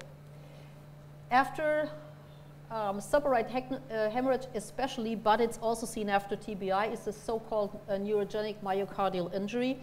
If you have SAH patients and you put uh, continuous um, ECG monitoring, you see um, ST changes in up to 75% of patients. Some studies even say 98%, so you see it in almost every patient, some sort of change. What you can see is also wall motion abnormality, abnormalities, and you can see an abnormal or impaired cardiac function. It looks like this. This isn't the normal function of a um, heart. So if you have a bleeding in this area, you see the function like this. I can I try to show you a movie, and I hope this will work. see a movie of an SAH patient with a significant impaired cardiac function. And the impairment is in contrary to Takotsubo, where the impairment is down here at the apex, you see most of the time the impaired function is in this part here, and this is due to the different distribution of beta receptors in the heart. And this is what happens normally. This is um, modified from a nice paper from Bizo et al. published in 2017. You have the brain injury here, then it leads to a sympathetic storm, neurally released catecholamines, and it has a direct toxic effect on the myocard via the B2 receptors and the distribution of these receptors because they are lower um, distributed in the apex. So this is the different, this is why it's different from Takotsubo and they change to um, neurogenic myocardial injury. So you see um, the cardiac receptor operated calcium channel change, you have the ECG changes, wall motion disorders, contraction band necrosis, free radical release, calcium entry, myocytolysis, and you have a so-called hypercontraction necrosis. So this is what it distributes it for myocardial infarction, even if the effect might be the same. Patients can sudden, have a sudden death we lost one patient after a subarachnoid hemorrhage, and he was stable, and then he started showing ECG changes, and he deteriorates that fast. He was, um, we, we had to resuscitate him like two, two hours after symptom onset, and then he was put on ECMO, but we lost the patient because there was never any uh, regain of uh, cardiac function. So that happen, it can happen so fast. Um, and you can do nothing about it if you're running out of luck. And this is how it happens. For example, the most important things included in this uh, action is the hypothalamus, the left insula, and the rostral medulla. And the apex um, has the lowest sympathetic nerve density, so this is um, why it's not at the tip of the heart. You have an increased catecholamine sensitivity, and they the, the cells switch to the GI protein coupled pathway. So you get a coronary spasm, increased O2 demand, and then you got an overstimulation of beta-2 receptors, this leading to an increase of cyclic phosphate, then leading to an uncontrolled calcium influx, then you get myocardial band necrosis, left ventricular dysfunction, and cardiopulmonary impairment. But on the other hand, you have alpha activation 2 that leads to a peripheric vasoconstriction, pulmonary uh, vasoconstriction, increase in pulmonary artery pressure, and neurogenic pulmonary edema. In addition to all that, you have platelet aggregation, microemboli, endothelial damage, increased uh, capillary permeability, so more edema. And then you get pictures like this. And this is um, pulmonary edema followed a, a neurogenic myocardial injury. And this also is like a vicious cycle. So cardiopulmonary impairment leads to edema, lethality rises, and this is the other way around. So what can you do? You cut off the spinal cord. That's the most secure treatment. But who wants to cut off a spinal cord? Nobody, I think, because this we simply can't do. You can use positive inotropic substances and you can use alpha or beta blockers. Um, I think it's very hard to do. So um, two weeks ago, we had a patient coming in after surgery, after TBI. He was on four units of vasopressin per hour and like 5.0 milligram of uh, norepinephrine per hour. And do you try to give them beta blockers? Would you try that? I don't think so. I did, we, uh, we used like 25 milligram of metoprolol, like fractioned, and 15 minutes later, everything was okay.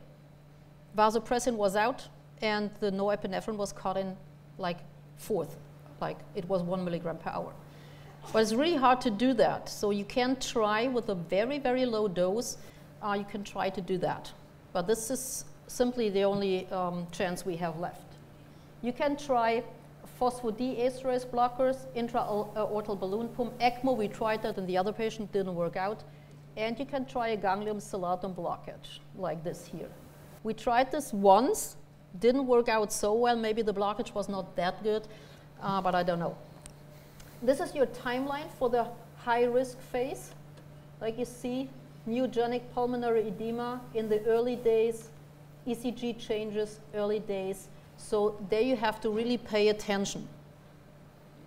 Okay, so we uh, finish with some examples. I think we can, uh, we can skip, due to time, I don't know how much time we have left. Uh, we can skip a few of these parts, but this is just monitoring examples. Example one, ICP is normal, PbTO2 is, uh, ICP is elevated, PbTO2 is normal. You have no initial hypoxia, but this follows herniation. Or when you have this um, measurements, it can, herniation can follow. So you have to lower ICP. This is what you're supposed to do with this measurement. If you have ICP elevated, PbTO2 normal, it's hypoxia in combination with herniation, lower ICP, raise your cerebral perfusion pressure, improve oxygen delivery.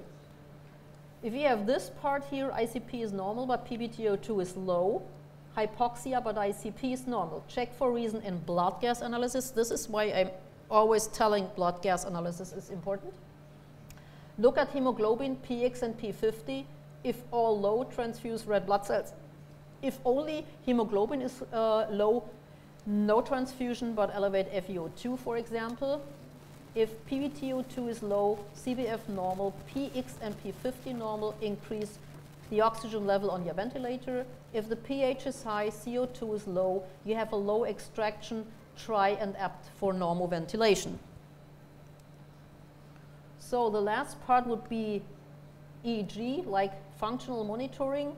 This is the only functional monitoring we have besides SSEP and AEP. It can be used continuously it's not available everywhere. It's very, very demanding, complicated, and elaborate to get it running on the ICU. Lots of artifacts due to the machines. But in 20 to 40% of the patients after brain injury, um, seizures occur. And they often combined with adverse outcome. Um, if they're non-convulsive, if you have continuous EEG, you can catch about 90% of all seizures. And if you have intermittent EEG, you mostly catch about 40%.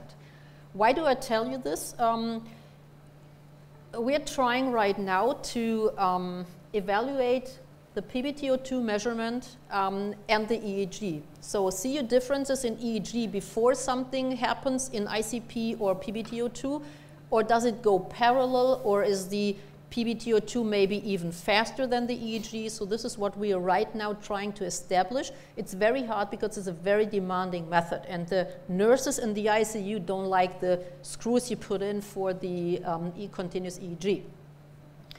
So now we have lots and lots of data. And do we need more data? Do we need more measurements? I don't think so because if you uh, check everything, we have about 9 million data points per day. This is more than any person in the world can integrate and can just um, use to treat a patient. So we don't need more measurements. We need a development of software to integrate and optimize the data. For example, you can use the ICM Plus, the ICU Pilot, or other programs. Um, specific values like PRX ORX and CPP opt. Gennadin will tell you something about the ORX opt uh, or X in a minute. And um, this is needed besides missing class 1 evidence to gain information about physiology and pathology following brain injury and to individualize patient treatment. We have our own measure, uh, measurement device and we have our own algorithm. It was um, designed in our clinic and um, published and we use it bedside and we have like it's either green, yellow, or red because it's supposed to be simple. If it's red, you're out of autoregulation and the brain is not compensating anymore. Yellow, you're in risk to getting out of uh, autoregulation. You're supposed to do something. And green, everything's okay. So it's supposed to be like working like a traffic light for everybody. See, okay, there's something going on. Check your values. You have to do something. So and this is our algorithm TBI, SAH, on admission, factor 13, TROP, E, CK, CKMB, ECG on admission. If an EVD is needed, we always take an S100 sample. If the trauma or the bleeding, the SAH, has uh, in between the last 24 hours. If you have an early, uh, we found out that an early CSF S100 probe, uh, when the cutoff level is at our laboratory, it depends on the values you have, is above a certain level, the patient is at a significantly higher risk for a second hit and having a bad or worse outcome after getting a second hit. So if you have a low S100, sometimes vasospasm doesn't do anything to the patient. If you have a high S100, vasospasm is mostly leading to a deterioration or an adverse outcome. So we always use that. And if when EVD is needed, we always use, as I told before, the Neurovent. So if the patient is awake, he is awake, neurology is the best monitoring. Patient deteriorating has to be intubated or whatever. Then we use multimodal monitoring, ICP, oxygenation, CBF, and microdialysis.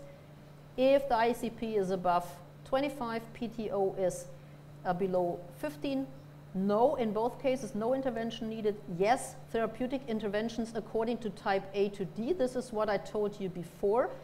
Um, if the patient is improving, cut therapy as far as possible and as long as the patient keeps stable. If the patient is not improving, additional therapies apply like cooling, use of ketamine, hypocarbia, or the Sion continuous intraarterial nimodipine as I told you before.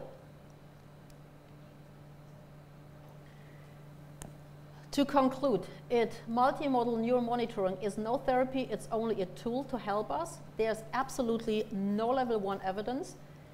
Important, do not treat single values. Um, our anesthesiologists like to treat values. They don't like to treat patients, they want to treat values. This is really dangerous, don't do that.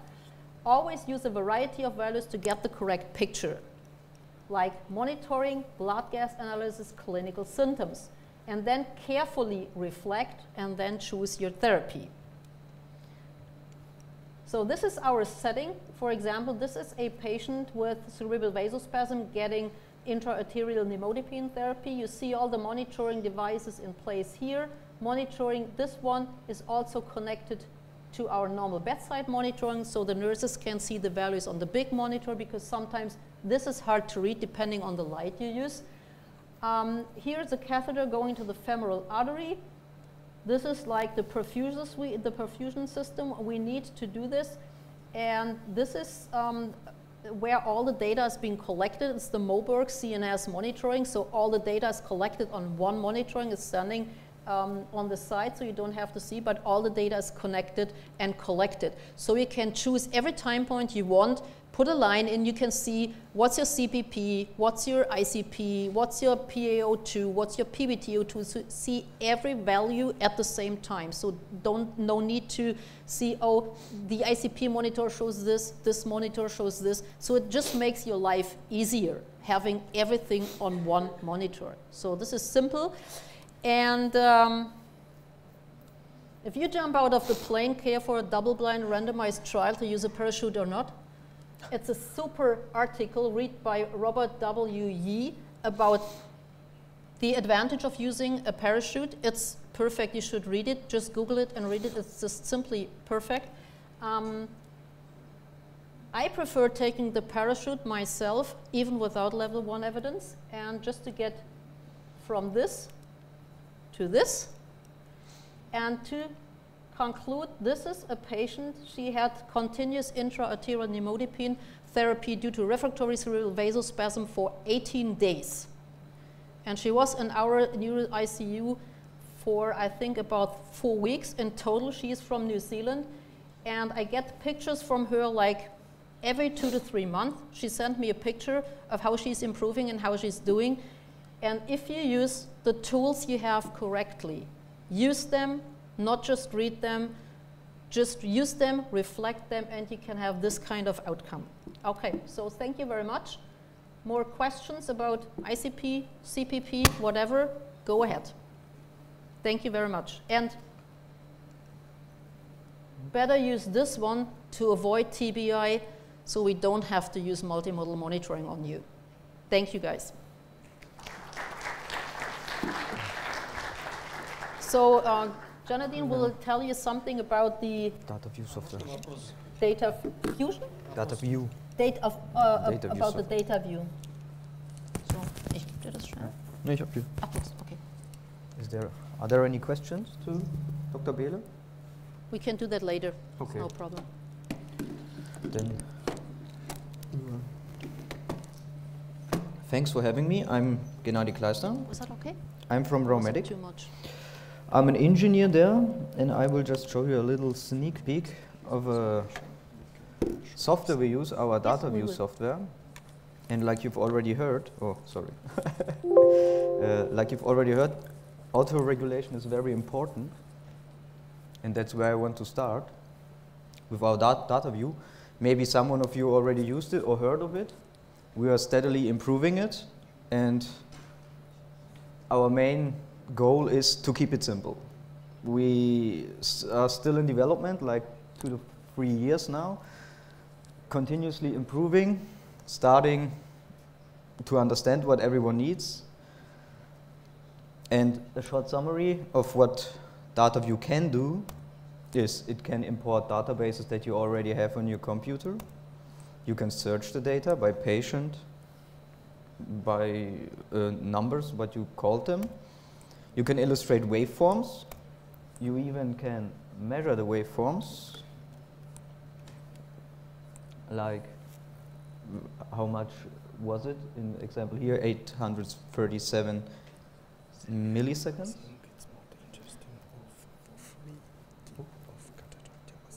The next thing you can do are histograms. Uh, If, if you're into that, if you are into statistics, you can do some histograms of patients you already have. You can mm-hmm. individually scale your uh, time mm-hmm. scalings. That means you can see only one mm-hmm. waveform. You can see measurements over, I don't know, 30 days of measurement, if you like so. You can export your data into the normal comma-separated file in the, in the EDF format, that's a European data format, or in the DataView specific file. So if you have a colleague who uses DataView, you can easily give him the data and he can easily use it, and so you can talk to each other on the same level. Yeah, And the main don't have a things that I want to show it's you, because we don't have the data much time, you. are the pressure, just put it off. si- uh, pressure reactivity inside, you can index, just take it off. PRX, and the oxygen reactivity index, over ORX. For the basics, how the data is calculated, calculated, you have individual integral width of the data. This is the trend of the measurement you have. You can adjust it as you like. For example, here we chose a width of five seconds. That means the smaller the width, the, the more of the dynamic of your waveform is still with you. The bigger the interval width is, that means don't know where I put the more I hope I stable the didn't lose it in waveforms general are. Then uh, some literature where this is from. The PRX value is calculated from the mm-hmm. ICP with your individual interval widths. The arterial pressure with as well your inter individual interval widths. And then with a correlation according to Pearson, basically it's just a moving Pearson correlation, you can use this very complex formula or just our software which will show you how I this looks like. if you have find my cell your interval widths This is bad. And So everything is on the there. filter, which is in the end used to smoothen out everything I up. it is. I just will show you I a few pictures later. Before the talk. Same goes and I for your can't find it, ORX. But I Of course, you need again. you need here the ICP as maybe well. I lost it. Then you maybe need, I, of I course, the it uh, arterial uh, the, pressure as well. room. I don't know. And important is that you can calculate out of this already the Yeah, we can- CPP. It's I the RT minus the We can- ICP. We can call it. And to get the. ORX, of course, you need the, the PTO2 value. Otherwise, it doesn't work. And out of these three parameters, you can calculate with the same formula. It's basically another shifting Pearson correlation, d over x. And in the end, it will be smoothen up. That's basically a short introduction. Thank you for this. And we will I'm, I don't know. Jump into it, how it works. is. I had it. I had This it is, for example, mm, breakfast. I a because I went measurement for a patient over uh, Three and he days. didn't pick up. And with some simple that, clicks, I don't know where I put it. I You can no see clue. all the histogram like you need to. Yeah, we'll You it, can I hope. choose to get it Yeah. over all the measurement, I like I did, for example, actually. or you can just choose for I don't know your specific 30 minutes or No, whatever you like. It, it has to be here in the car. And another the patient room. is because I can't have left is here. the breakfast because I was trying to you can see uh, it's the arterial back in the pressure in here and the ICP Hmm. down here. Oh, I, I check. And the program already did it because I clicked on it here on the left side, Oryx Empirics, and it calculates you the values between minus 1 and 1 because it's a correlation. That means the nearer the value is to 0, the better the au- autoregulation of the patient is. That's basically all there is to say. If there are any questions, please Yeah, go on. talk- I think you the next thing we can for do is show you a little bit of the catheters that really Sylvia like Bill already explained I in detail. have problems like on the desk there. This is what I was telling Thank you at very the much. end that you have to that you really have to um, to act to the to the values and you think about it. Уважаемые коллеги, э, у нас э, запланирован 15-20-минутный такой воркшоп, мастер-класс. Э, С учетом того, что желающих было много, мы используем камеру. Сейчас представители компании Raumedic поддержат в плане комментариев специалистов относительно наиболее часто используемых девайсов, комментарии по поводу э, блоков расширенного мониторинга относительно катетеров и постановки болт-системы. Есть свои тонкости, рекомендации относительно использования болт-систем, когда, как ставить, чтобы избежать осложнения и чтобы обеспечить наиболее точное измерение, интерпретацию показаний. Хорошо. Okay. Um, should we just present or do they want to ask questions? I don't know. Ah, I will do the, ja wo du ah, Dirk Kanal aneinander aus. Okay. Okay. Ich gehe ihre Reihenfolge durch. Ja, ja, das ist okay. Hmm? So we will just go on like Sylvia started with her presentation. This is the telemetric device, our Neurovent-P-tel. Ah. It's all ceramics, you can, it is just like Sylvia said, you implant it into the skull. We have here some borers if you want to come and bore some Yeah, holes, you- you can do this as well. try. Yeah. You just implant it into the skull. It has a specific range, so it doesn't go further. You don't have to be afraid of anything. Just put it in, and the skin above Is closed. is closed Yes. And, around uh, it. Yeah. So if it's if it's in, it's a pretty simple surgery. So it's a small burr hole, and you just really slip it in. The um, skin cut has to be like about like four to five centimeters, just to be sure that you get it covered very good. So it can stay in the patient, and the patient can be in bed. He can walk around, and if you want to just read the probe, mm-hmm. you just use this telemetric device, which is directly connected to the monitor and you just put it on top of it and then it shows the data. The patient, if he wants to, can even take this around with himself and he can try, he, he can hold it up there too to just read out some measurements when he's walking around or when he's back home. He can even take this one back home. We normally don't send the patients home only if it takes like more than we want to measure more than a week or more than two weeks, for example. We tell the patients if they are fit enough, they can go home with this and tell them like two or three times a day when they do certain things. After that, just they know where the cut is and just sorry, just put this on top here and it starts reading. And so it stores the data, so it's no problem. It's actually a very, uh, very feasible method if you have complicated CSF problems. It's very simple to do, very easy, like every resident can do it. You know, don't need to specialize in that. Small drill hole, and that's it. Do you have any questions about this device? Important is that it only measures if you put the reader on it, otherwise it's just passive. And if you put it on, it reads the measurements and stores it on the imp- Empiron for up to three months. How do you fix uh, this uh, This one? subcutaneous? By suture or something like No, you don't. You just put it in the drill. There is a certain drill, and it fits just this top here. You just put it in and then close the skin above it. The never, we never had one just dislocated. Never. what is the size of Uh, this is very small. The the, Which, which size do you mean? the drill hole is very very small. the diameter of the, Uh, 31 millimeters. the probe? The It's length? Five. Five. Like the, the drill hole you need is like a little under five Ah. millimeters. It's uh, The drill hole is very Fi- small. fi- five French. and Yeah. Drill hole is very small. It's five French. That means 1.3 millimeters. Yep. Okay. You demonstrate both system, different between Yes. both system. Yes.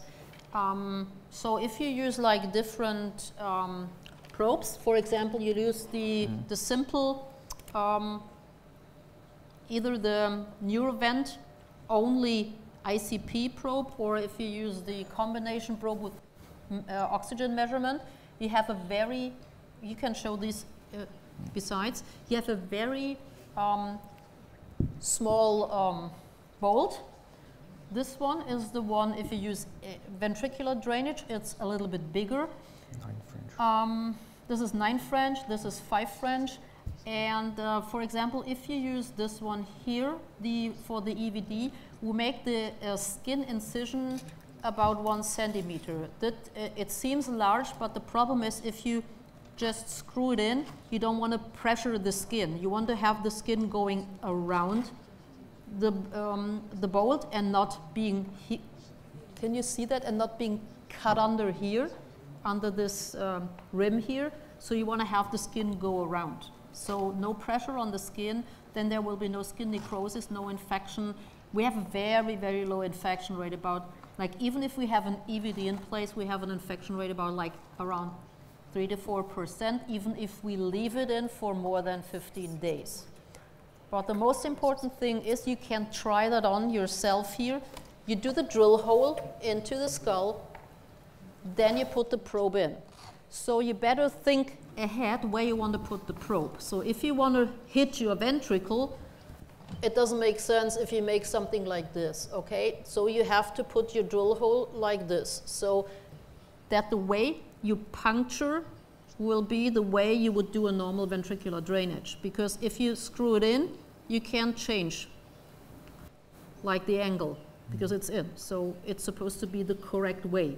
You can unscrew it and change it a little bit, but only so far because if you, for example, if your drill hole went in this way, von der oder von Von der Seite ist besser sehen Sie. um, if your drill hole went in this way, but your puncture would be like this, it can bend on the inside of the uh, skull.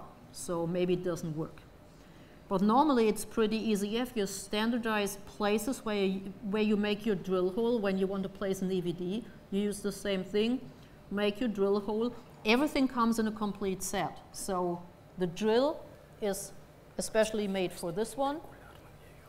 The exact size you need, you make the drill hole, you screw that in, and never forget this one here. It's no fun if you didn't put that. Where's your EVD stuff? Where did you put the ventricular drainage? Here. No. No? I just You had it in my you hand. took it. Yeah, oh, here. Ah, okay. So before you put this in, always put that on, Mm. on the drainage because it's no fun. you put this in here, you hit the ventricle, and then you can't fix it because your screw is somewhere else. This you need to fix it, okay? So always put this in on here, and after you put it in, you hit the ventricle, and then you screw it tight here. So it's it's not moving anymore. So, but don't do it too hard, otherwise no CSF is coming out. So the nurses come and say, your drainage is not working. You go there and you make, "Mm, it's working. so sometimes like the residents, they, they don't want to get it removed, so they really turn like this and no CSF is coming out, so it's not working. So do it as far as is needed, but gently, okay? but it's a pretty easy system, and the real important thing is don't use it like this, okay? You have this, you have the drill hole, you take this one up here, you put this in, and then you put the screw down. Then the problem is this one has skin contact maybe, and then the infection rate is significantly higher. So screw in first, never any skin contact, low infection rate. Mm. And another important thing is there is a small, he, he already put it out, there's a small silicone ring in it. Don't lose it, otherwise It won't tighten up. It won't tighten. So that's the problem. Don't lose this stuff. we always say if you screw it too hard, it's after tight comes broken. Yes, this is correctly. And if you use the, where did we put this one? If you use the this probe, PTO. uh, the PTO probe, there is like if you put it in, you can't, you just simply can't go too far. Because if I put it in like this, if you can see it, I can do whatever I try, it's not going farther in here like this. So nothing will happen. So it is in a certain depth and nothing will happen even if you use force, it's not going farther. So, but you have to place it like this as far as it goes. Then I personally pull it a little bit back, put it back forth, and then turn it a little bit to the left and a little bit to the right, just to get rid of any potential blood clots or tissue here on the tip. So this might uh, false in your values. So maybe you get too low readings or too high readings. Most of the time it's too low if you have blood clots sitting here. So just tiny, tiny movements needed to get rid of this stuff and then screw it tight and then it stays in place. And this goes to your connection cable. Dots on dots, please. Don't do dots and not dots. I don't know where you put it. There. So don't put it like this, please. Always put dots on dots. We had funny things too. Like uh, we had a patient having one of these probes in place and one of these, and they connected them completely wrong. They connected blue to white and white to blue and said, well, nothing is measuring. I don't know what, I broke your monitoring. They said, no, you just connected it wrongly. So this is why this is blue and this is white. So only white to white, blue to blue, and always dot on dot. Blue is oxygen, and the, the amount of dots on the catheter shows you what it can measure. For Yes. example, one golden dot means only pressure. Then there is a white one with two dots that can measure pressure and temperature, And, the this bl- is three. and the blue one can everything. Do you and- see? Or Yeah, okay, yeah, perfect. Okay, this one is the this one is the oxygen Mhm. cable, and um, The there is only one way to connect it because inside the, I don't know if you can see it. Inside here is a little dot, and it only goes in one way. So you have to put the dot, and there is a little slide in the connector here. You see here is the slide here open. See that? Mm, Is that visible? mm, no. Okay. And then you have to put the, the dot in here. So I can try, if it's not working, I can try whatever I want. It's only going in if the dot is fi- uh, in, the, in the slides here. And then you just turn it to the right and then it's fixed. Yeah. And then you can measure ICP, temperature, and oxygen. Auch den hier zu zeigen. Uh, yeah. No, this is the this is another kind of bolt where you can use both the combination of the PTO too, and the smaller one is for microdialysis. You can put For it. example, You yes. can, for example, put microdialysis in. Then you have one bolt where both catheters are showing on the same height, and Yes. uh, you don't have to worry that you measure the oxygen on one part of, uh, of the hemispheric and the microdialysis Yes. things on And the you other can also um, you can also try to get the CBF probe through this. Yes. So you have, and it's easier if you use um, this kind of system. We normally use the Licox probe in combination with the CBF probe, but it's very uh, difficult to put in correctly. If the dura is not perforated significantly enough, you uh, never get any readings, you don't get the probes through. So the Licox system in combination with CBF is much more difficult and I wouldn't let like a beginner do that without uh, watching. This one is pretty robust, you can hardly break it, you can hardly do anything to it, very easy to install.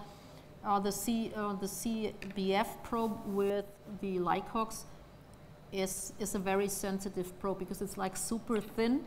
And whenever you have just to use force to put it in normally it's broken. So it doesn't measure and it's expensive so if you have to use three of them in one patient your boss will not be happy i think if he gets the bill afterwards Here, I just wanted to show you again how far it can go into the bolt. This one is for the bolting. And then we have another type of PTO measurement.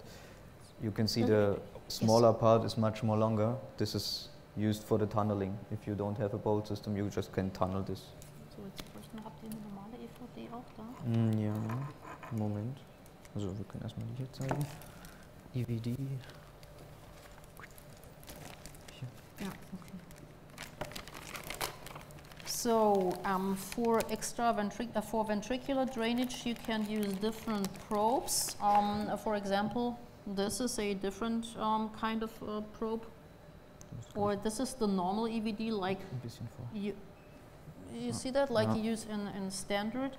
Um, you can use the bolt, the normal bolt kit for this if you want. No, I need the nine one. Yeah. You can use this one, but only Moment. with this on top. so you can use this like everything else if it goes through here. No, I think this is the wrong one.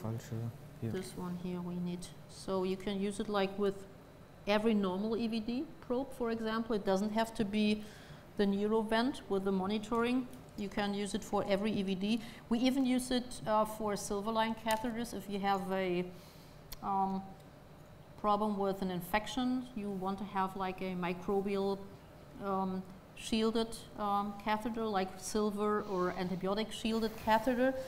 Um, there's the only pr- uh, problem with that is if you want to use this bolt kit with, for example, a silverline catheter, then you really have to take the Silicon ring. little silicon ring out and put the um, silverline catheter in. They have like a metal part, like after starts after I think six centimeters goes to nine. You put this in there, and then um, you use the screw that is um, given to you with the. You put this the screw on top of this here, like this one, but it's a special. Uh, which is delivered with a catheter, the antimicrobial catheter. You put this in onto, like here, the, the metal part is Inside. partly in and partly out and then screw it tight. So that's working. It's a little hard to get it in because it's a little thicker than um, the Neurovent um, catheter, but it is working. It's absolutely no problem. You can get it in, you just have to be patient. It's working. So you can use the bolt with different forms, not only with the Raumedic stuff. You can use it with um, silverline catheters, for example, too. Here we have a special probe which uh, can drainage. Like you, I hope you can see the holes in front. Here are the holes, but the pressure measuring chip is down here, so that means you can put this catheter into the ventricle, but measure the pressure in the parenchyma and drain if you need to drain, of course. This one is one special kind. Then we have a few other ventricular uh, catheters. This one is only for drainage and measuring the pressure in the ventricle, it's uh, in the tip. Here are the holes for the drainage. And then we have some guidance, it's called the soft, soft one where you can puncture it, guide it, and then just take this out. So when you finished and you want to stop measuring, normally it's no problem. You just take the probe out, then take the bolt kit out, and then we clean the wound a little bit and then just close it with one or two stitches. Normally we normally have never or very rarely occur problems with CSF leakage afterwards, but it's very rare. Uh, also, we have a little speciali- speci- speciality where you use this little funny guy for transporting monitor. All you need is put on the cable. it's only one way. You just can put it around. There are two arrows. Just click it in. Then it begins to Mm, to blink. one was not- Here, the red one, and says uh, no pressure sensor present. That means it doesn't measure. On the other side, with the two dots, you just connect a pressure sensor. We don't have one here that is working right now, so I use one which will show 10 millimeters mercury all the time. You just put it in, and that's it. It just shows 9 millimeter mercury, and you even can. Uh, it has some holdings which you can put on the belt or on the bed or wherever you want. That's basically the simplest transporting monitor you can have. But uh, one thing, you can't use oxygen measurement with it, only pressure. Just that you've seen it. So, and I think the last thing we have to show you is if you do not want to use bolt kits, or maybe you have done a decompressive craniectomy and you don't have any bones left or bone left to put it in. You can also use this um, kind of probe, which is a longer probe, Mhm. as you can see, in comparison to the bolt probe for PTO2. It's much longer, and you can tunnel it. Normally, um, what we do if you do it in the operating room and you, the, the skin is still open, um, we just uh, take a cannula you use for IV application of fluids or medics and we just puncture it, then take the needle out, leave the, the plastic cannula in, put this through, put this into the brain, and you can take the cannula out if you want to, just put it a little bit back, and then you can fix this one um, within the cannula, and then you can just sew the cannula like the, the, the um, little wings it has, you can sew it or stitch it to the skin, and so it stays in place, and then you close the skin. This is what you can do with this one. So you can even tunnel if you like, or you can use the devices you use for a normal EVD to tunnel. Mm. But I prefer the um, venous cannula. It's more controlled and I can fix the probe on the skin.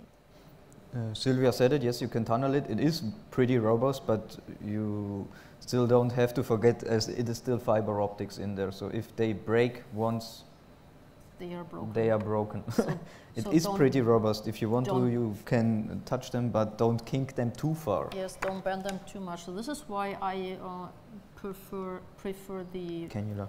The, ven- Mm. the venous cannula because it's a shorter way. It's easy to put in. And Um, straight. It's pretty easy. And if you even if you don't have um, if you don't have the skull left in and you don't want the tunnel, you can use the uh, venous cannula where you want to put the measure the probe in. Just puncture the skin, puncture the dura, put it into the brain, take the needle out, put this one in, and um, then you can uh, um, turn back the cannula, the venous cannula a little bit. This stays in. The venous cannula comes up here. You fix this into the cannula, and then you screw, you, you sew the cannula to the brain, uh, not to the brain, sorry, to the skin, so it stays in place. It's pretty easy, actually. I prefer the bolt, but no brain, no, uh, no, no bone, no uh. Bolt. So this is the problem. If, but you can use this. It's working pretty good, actually. I have to admit. Um, the only thing you, you're not supposed to do is like Mm. bend it like.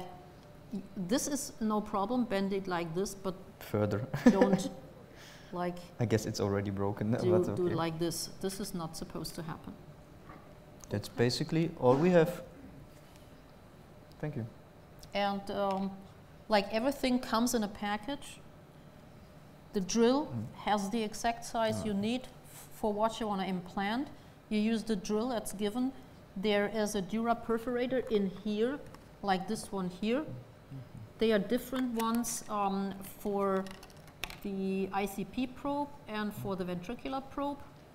So everything comes in a package. So there's Normally, I would say there's no changing up unless you don't order the package, you order the things separately. Then you're supposed to make like colored dots on the stuff, like blue, blue, and blue, like for for the bolt and for the drain or for the probe. Um, and then you still get the people mix it up. So um, better take the complete system. So you take one package out of your shelf, of your storage, and you have everything you need on the bedside. Yeah, that's pretty much it.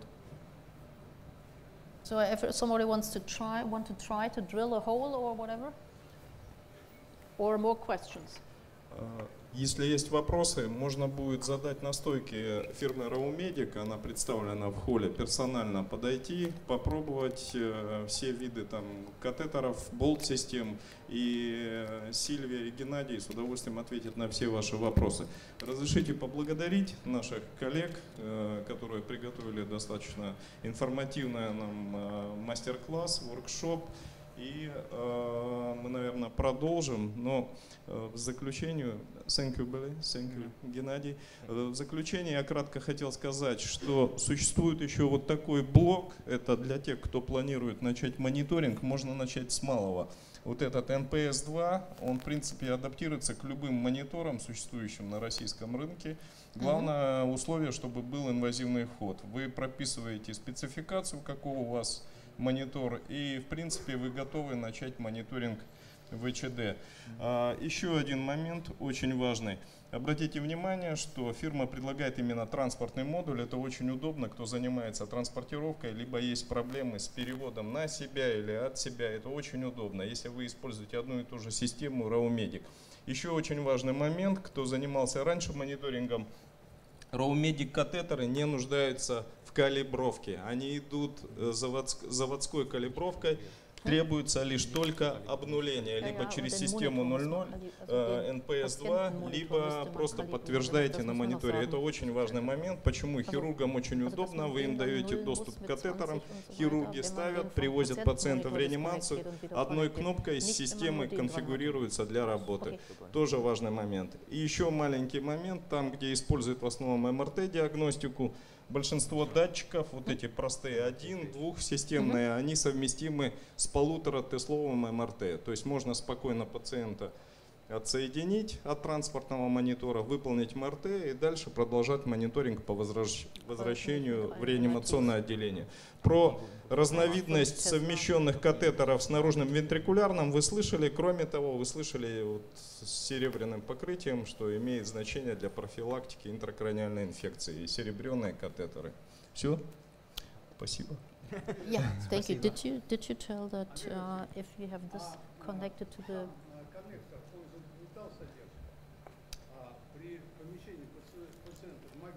А, значит, а, есть там коннектор. Он ведь э, металл содержит э, внутри магнита. Он же будет давать. Um, no. For if you use uh, if you use the stuff in MRI scanner, what we do normally is you can either disconnect, but you don't have to. But what you have to do is um, just put the probe in the back of the patient. So if the MRI scanner comes up here, don't put the probe like this. But outside if you the head. probe it in the, in the back, you can leave it. Um, it's not going to be magnetic. Nothing's going to happen. It lays there. Um, the um, only thing is um, you have to use specific sequences. There are some sequences that will be disturbed with this uh, catheter. Which one? Um, Which sequences? It's the, I think it's the um, diffusion. If you use diffusion, um, for, for seeing like infarction or stuff like that, you can have an artifact which is like a, it's like a dark half circle like it this. It will be a very local artifact. Mm around the No, it's tip. not, and the funny thing is not really around the tip. It's some sort of like a half circle from the outside most of the time. Mm um, and you're, you're not supposed to use it in more than 2 Tesla. So 1.5 mm Tesla, we have very good results. Um, we have special programs used like special calibrations of the MRI scanner if we put patients in with a probe. Um, if you need the specifications uh, of the MRI scanner, I have them back home. I can send them by email. This is no problem. Um, but normally, like if you use a normal routine program and a 1.5 Tesla MRI, mm. just put it in the back, if you're in doubt, just disconnect it. If the patient is not so much dependent on ICP treatment, just disconnect it and put this like in the back of the head. So okay. not close to the head. Thank you. Вопросы есть еще? Я думаю, мы продолжим, потому что у нас уже да, режим. да.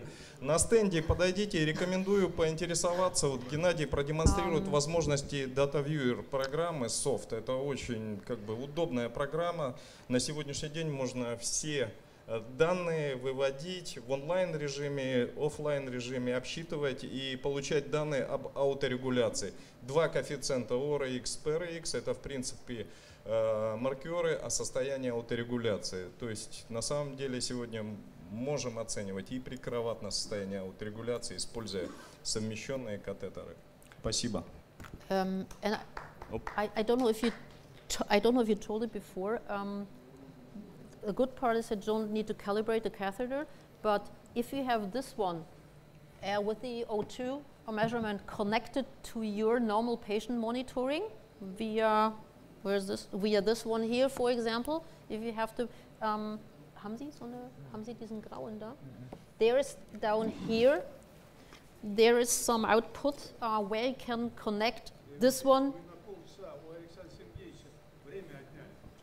Did you already say that? Okay, okay, that's okay. But then if you disconnect and reconnect, you have to calibrate it. But this is a simple program. You have to press three dots or three parts here, and then it's recalibrated. But it's not to calibrate the probe, it's just to calibrate it to your, uh, to your normal patient monitor. Okay, so thank you so much, guys. Спасибо.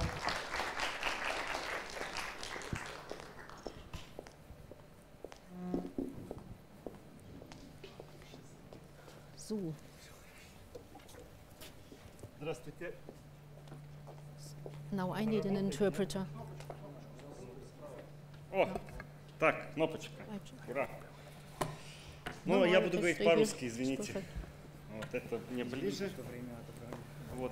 Я думаю, что неплохо, что мы чуть-чуть затянули. Главное, к нам приехали такие гости из Регенсбурга, прекрасный университетский городок в Баварии. Так редко они у нас бывают. И в такой полноценной лекции, мне кажется, стоит того, что чуть-чуть даже задержать. Зато теперь мы знаем, куда засовывать эти чудесные вещи. Вот. Моя э, тема моей лекции вот так вот э, заявлена, не лекция, а мастер-класс, да, простите. Тонкости анестезиологического ведения интероперационного речевого картирования речевых зон головного мозга. Вот. Это специально придумано, чтобы всех запутать и прибавить немножко физиологической фундаментальности данному рассказу. На самом деле ее можно сформулировать по-другому, как анестезиологу провести краниотомию в сознании. А Вот. Во- Поэтому, во-первых, я хотел спросить аудитории, кто знаком с э, данной методикой? Вообще, кто проводил? Ага. Спасибо. А кто проводил вот, в реальной клинической практике, кто этим занимался? Ага, спасибо. А, ну что ж, тогда я чуть-чуть как бы пообще расскажу об этой методике. А, исторически она зародилась еще в начале века. Можно сказать, что а, автором этого подхода является Уайлдер Пенфилд. Это фотография из его операционной еще середины 20 века. Видите, какой чудесный мужчина лежит, разговаривает с пациентом. За ним стоит как раз Эл Робертс, это нейрофизиолог, роль которых тоже при, при выполнении данной методики нельзя переоценить. В нашем институте э, мы впервые занялись этой методикой в середине 90-х годов. Тогда это был Андрей Юрьевич Лубнин, а, профессор Лошаков как хирург. Вот фотографии с того времени. Ну вот за это время не очень много по сути изменилось, но мы немножко облагородились, все стало выглядеть более современно, даже фотографии. Это вот фотографии из операционной с краниотомией в сознании до 12 сентября, то есть совсем недавно, последняя по времени, которая была. Валентина Андреевна, вот Анна Анатольевна, вся наша мультидисциплинарная команда. Ну, за эти 20 лет мы достаточно много а, и провели, порядка 350 таких операций, опубликовали, суммировали много данных. Вот даже есть статья у нас в Current Opinion Anesthesiology. Суть метода достаточно проста.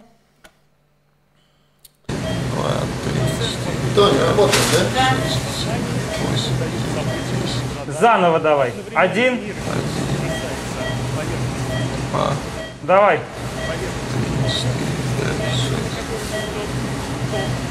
Четко там. Давай еще. Заново считай. Один, два. Да, здесь прерывается. как вовлеченное функционирование речевого анализатора, и она должна не попасть в зону удаления патологического образования. Таким образом, мы даем нейрохирургу информацию о том, как безопасно удалить а, чаще всего опухоль а, доминантного полушария головного мозга. Иногда речь идет о фармакорезистентной эпилепсии. Таким образом, задача анестезиолога – это обеспечить оптимальные условия для комфортного и уверенного речевого контакта с пациентом на этапе картирования, как мы проводили 20 лет назад, но и в последние годы немаловажно является и поддержание этого сознания по ходу всего удаления патологического образования, о чем я, на чем я остановлюсь чуть позже. Основные аспекты, на которые необходимо обратить внимание анестезиологу, который планирует реализовать данную методику а, в практике, это мотивация и эффективная коммуникация с пациентом, это выбор рациональной седации на этапе выполнения доступа, это предотвращение и борьба с болью, и профилактика и борьба осложнений. На каждом из них чуть-чуть мы остановимся в контексте того, как мы реализуем эти аспекты в нашем, нашей клинике. Предоперационная беседа – это одно из ключевых условий успешной реализации краниотомии в сознании. Безусловно, проводится общая анестезиологическая оценка, и здесь нас интересует такие вещи, как возможные э, предсуществующие нарушения дыхания, сонное апноэ и так далее, что очень важно, поскольку пациент будет находиться лежа на операционном столе достаточно длительное время и не сможет двигать головой, избыточный вес и так далее. А, степень компенсированности эпилептического синдрома также очень важный вопрос, поскольку чаще всего это пациенты с глиальными опухолями, у них есть разные степени выраженности эпилептические проявления, они должны контролироваться с тем, чтобы а, по ходу операции мы не столкнулись с интраоперационным генерализованными судорогами, особенно учитывая, что по ходу операции мы будем подводить ток непосредственно к коре головного мозга. Неспецифическая оценка состояния речевой функции, как здесь написано, это тоже важный момент для прогноза успешности картирования. Мы, конечно, с вами не нейро а, не нейропсихологи и в полной мере не можем оценить сохранность, но хотя бы примерно представить себе то, как будет с нами беседовать пациент по ходу после пробуждения, это принципиально важно, потому что понятно, что после седации, проведенной на начальных этапах операции, вряд ли он заговорит лучше, чем на предоперационном осмотре. А значит, если вы не уверены, что вы сможете отделить просто ошибки пациента от ошибок, вызванных, вызванных э, прикладываемым током, наверное, о целесообразности проведения такой операции – а, стоит задуматься еще раз. Разъяснение потенциальных преимуществ краниотомии в сознании тоже очень важный момент в деле налаживания контакта с пациентом. Для большинства нормальных людей представление о том, что они будут находиться в сознании на операционном столе, это некая шокирующая информация, которая провоцирует ну, определенные переживания. Поэтому крайне важно объяснить, ради чего это делается. Для снижения риска утраты способности говорить и понимать речь, после операции для того, чтобы полноценно приступить к реабилитации сразу после удаления патологического образования. Ну и самый важный момент, пожалуй, это тренировка выполнения заданий. Для начала я попрошу тебя посчитать. Один, два, Обычно три, накануне четыре, операции пять, приходим к шесть, больному, семь, в данном случае восемь, сидит. девять, Но десять. обычно я даже укладываю его на Дальше кровать. я тебя буду просить голову, узнать, что нарисовано вот картинки эти будут те показывать. задания, которые Простые. Ты должен говорить, это то Прям целое предложение. Это вот это. Не, не просто Это роза. Это жираф. Это зебра. Это айсберг. подписано. Это Очень важно солнце. создать у него полную картину того, что будет происходить по ходу операции с тем, чтобы он правильно и мотивированно выполнял эти задания. Ну, важным моментом является и то, что целесообразность назначения седативной премедикации у таких больных, естественно, сомнительна. Особенно бензодиазепины, они реально могут повлиять на качество интраоперационного картирования. Что касается управляемой седации, важный момент, который определяет успех всего анестезиологического ведения пациента. И здесь есть две идеологии. Мы можем на начальных этапах операции, на выполнение, собственно, краниотомии, сверление отверстий в черепе, э, удаление костного лоскута, мы можем стремиться к тому, чтобы поглубже э, обеспечить глубину седации, глубокую, глубокую седацию обеспечить, с тем, чтобы пациент гарантированно ничего не услышал, ничего не почувствовал, ничего не запомнил, но здесь нам нужно обеспечить протекцию дыхательных путей. Негативным моментом является то, что у пациента произойдет переход, резкий переход от глубокой седации к пробуждению, что может вызвать угнетение речевых нарушений, особенно если они присутствуют на дооперационном этапе. Поэтому существует и альтернативный взгляд, что имеет смысл стараться поддержать такую поверхностную седацию с тем, чтобы вот этого резкого перехода между состоянием сна и бодрствования у пациента не происходило. Первый подход э, называется sleep awake sleep в литературе англоязычной. Второй – monitored anesthesia care. Соответственно, э, исходя из этого определяется предполагаемая глубина седации на начальных этапах выполнения краниотомии сознания. А, важным является и выбор анестетика, если мы выбрали, скажем так, схему, которой мы будем придерживаться в рамках проведения краниотомии в сознании, это может быть пропофол. Ну, в нашей клинике мы также используем две дополнительные опции, это дексмедетамидин и ксенон. Немного расскажу о каждом из этих подходов. Ну вот это базовый подход, который на сегодня используется в нашей клинике. Это седация пропофолом под контролем а, мониторинга глубины анестезии в форме беспектрального индекса. Используются достаточно высокие дозы пропофола, используется ИВЛ через ларингеальную маску по ходу выполнения доступа. А, при необходимости опционально вводятся э, небольшие дозы фентанила, однако это крайне нежелательное действие, поскольку опиоиды – это как раз тот агент, который в наибольшей степени а, создаст препятствие для адекватного речевого контакта в тот момент, когда оно понадобится на этапе картирования и удаления опухоли. Ну вот так вот это выглядит в операционной.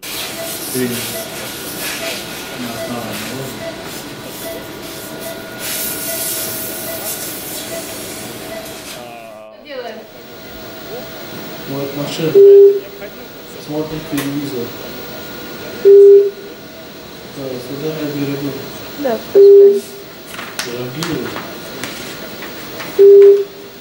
Слушает музыку. Прикладывает э, стимулятор к поверхности мозга или к подкорковым проводящим путям. Модификация этого подхода является ксеноновая анестезия. Почему мы ее используем? Очевидно, ее преимуществом является особое свойство ксенона как, как анестетика – а, поскольку после отключения ингаляции ксенона в течение 5 минут пациент пробуждается, пробуждается в, я бы сказал, в хорошем настроении. Это сложно формализировать, но действительно те, кто работали с данным анестетиком, я думаю, они знакомы с этим вот резким и уверенным пробуждением пациента, который резко, э, сильно отличается от того градиентного пробуждения, которое мы видим после отключения а, инфузии пропофола. Схема абсолютно та же самая, только вместо, ксено, вместо пропофола используется ксенон в концентрации 55-60%. Ну вот э, это один из первых опытов проведения краниотомии сознания в условиях анестезии ксеноном.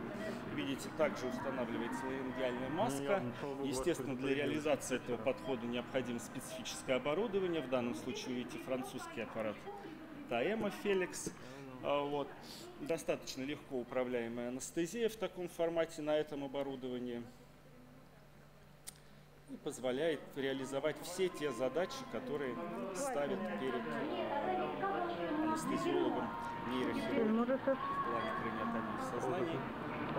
Очень быстрое и, главное, прогнозируемое пробуждение, поскольку в отличие от протофола, который может звука не слышно, время 12 Григорий Львович, пресс сделать? Да?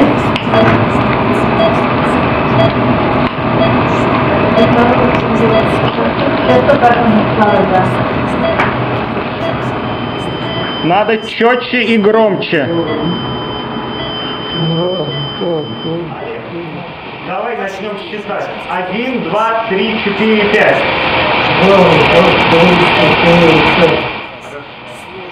Еще давай. Один, два, три, четыре, пять.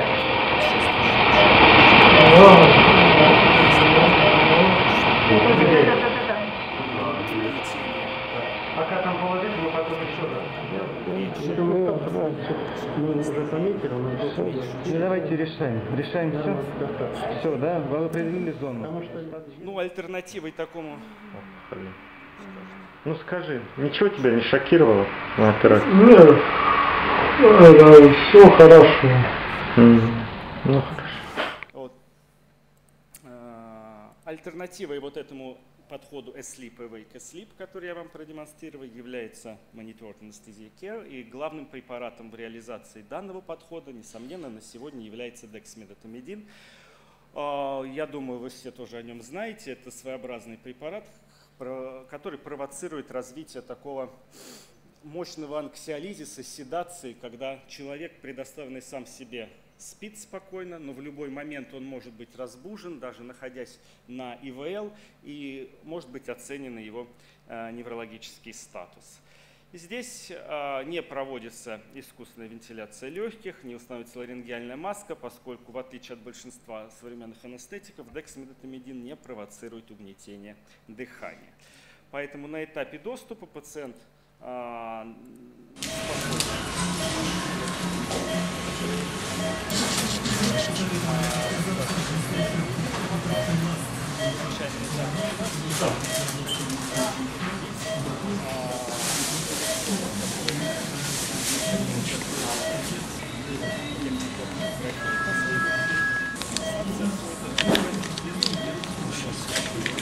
Подрежем.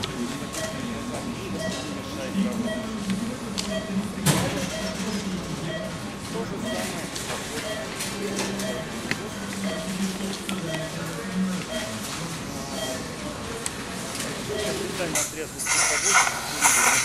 Виталий, как дела?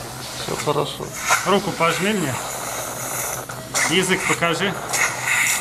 Ногой подвигай. Подвигай ногой. Ага.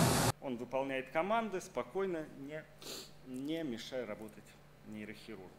Но суммируя то, о чем я рассказал в рамках схем вот этого проведения краниотомии сознания, надо сказать, что вот четыре основных методики, которые обсуждаются в литературе, мы все их попробовали. Мы начинали с а, пропофола без протекции дыхательных путей. Оп.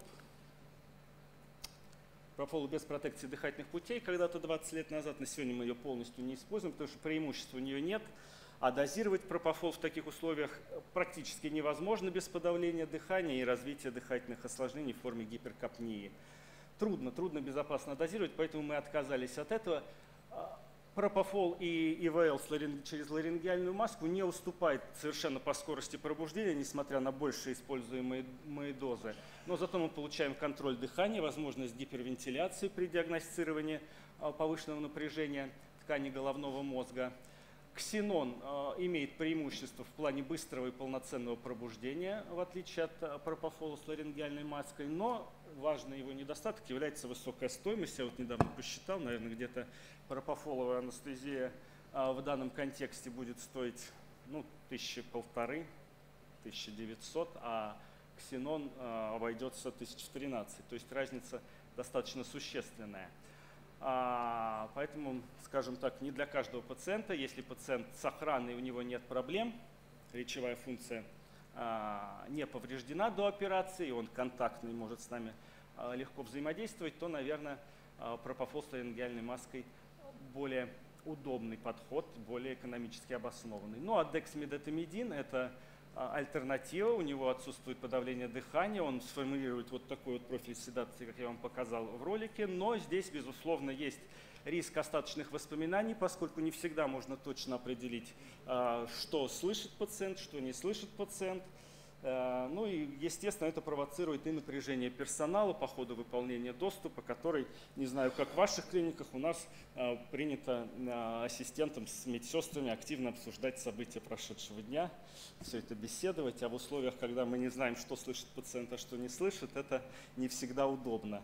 Вот, поэтому, как я говорил, в нашей клинике базовый является этот подход – на мой взгляд, дексаметамидин ничем не хуже, но в ситуации, когда у вас есть четко слаженная команда, которая занимается краниотомиями в сознании, изо дня в день, и одни и те же ассистенты, когда вы точно можете предсказать степень хирургической агрессии, которая реализует каждый конкретный хирург в бригаде, ответственный за проведение данного вмешательства. Ну и особые вопросы, которые часто задают мне, когда я рассказываю о краниотомии в сознании, вот почему не сиофлюран или другие современные ингаляционные анестетики, и почему маска, а не интубационная трубка. Ну здесь ответ прост. А, мы считаем в нашей клинике, что при использовании ингаляционных анестетиков, но это не мы считаем, это факт, выше тошнота, частота тошноты и рвоты, что негативно, безусловно, для данных пациентов. Ну и кроме того, сомнительны его физиологические эффекты на напряженность ткани а, мозговой ткани. Ну а почему маска, а не интубационная трубка? Здесь тоже все очень просто. Трубка, если мы ее не очень адекватно вытащим, конечно, она может повредить голосовые связки, а это, соответственно, повредит нашим возможностям речевого контакта с пациентом. Но, безусловно, это не точно, и в определенных, при определенном наработанном навыке и тот, и другая опция вполне может быть использована по ходу краниотомии в сознании. Доказательной базы таких ответов она не очень мощная, скажем так. Ну и не, остановимся на вопросе боли, который часто в контексте краниотомии в сознании носит ну, не очень выраженный характер. Может быть, это связано с тем, что в а, наших, у наших западных коллег есть в арсенале такой препарат, как ремифентанил, который они широко используют а, при проведении данных операций. В нашем фармакопее данное лекарство не зарегистрировано. Мы э, свою работу с болью основываем исключительно, не исключительно, а в основном на выполнении скальблока. По схеме, которую вы видите, мы иннервируем, вводим местный анестетик, это может быть нарапин или левобупивокаин в местах выхода на поверхность черепа э, чувствительных нервов, плюс добавляем инфильтрацию линии разреза. Э, надо сказать, что это весьма э, хорошо работает, но я вам покажу а, фильм, как это...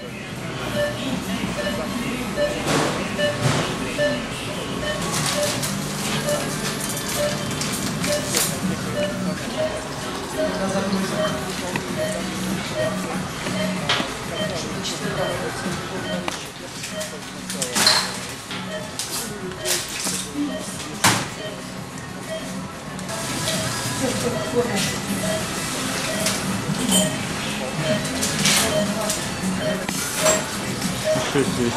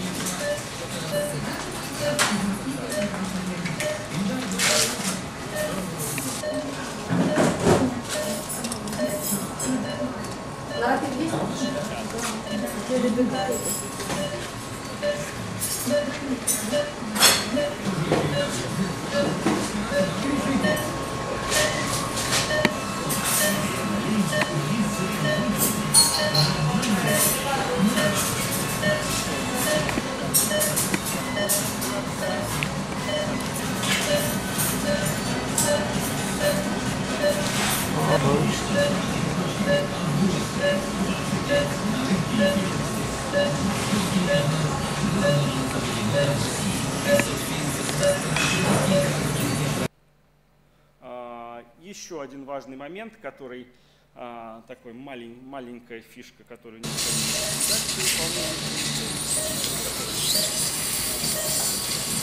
Мы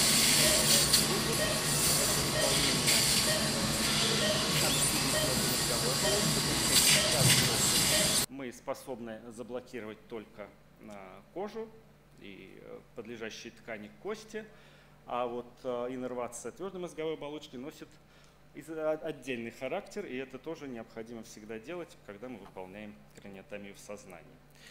Еще одна проблема, связанная болью в контексте краниотомии в сознании. Понятно, что все мы знаем, что, собственно, нервная ткань не обладает нервными окончаниями, но в ткани мозга, безусловно, существуют сосуды, безусловно, существуют элементы, когда мы за счет отсоса можем натягивать, а, например, твердую мозговую оболочку, лежащую на основании мозга, и это неизбежно провоцирует болевые ощущения у пациента, которому как раз по ходу удаления опухоли проводится, проводится а, когнитивное сознание. Э, вот.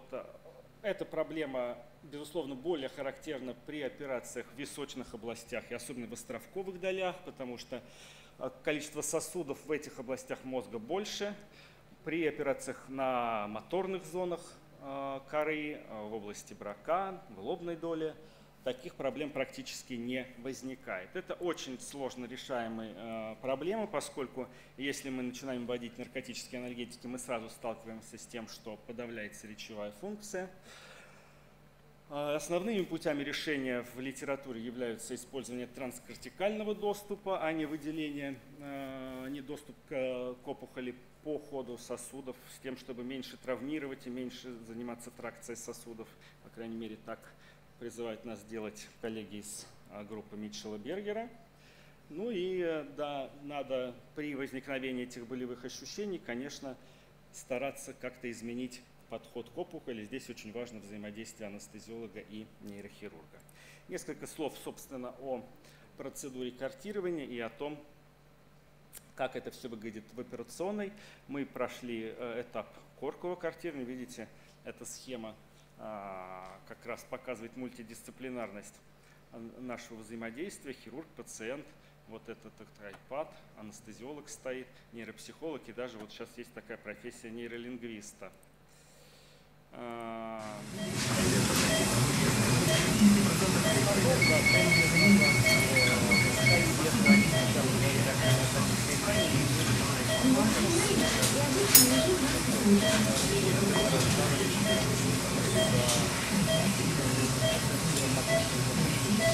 Видишь? Хорошо. А это что? Самолет. Отлично.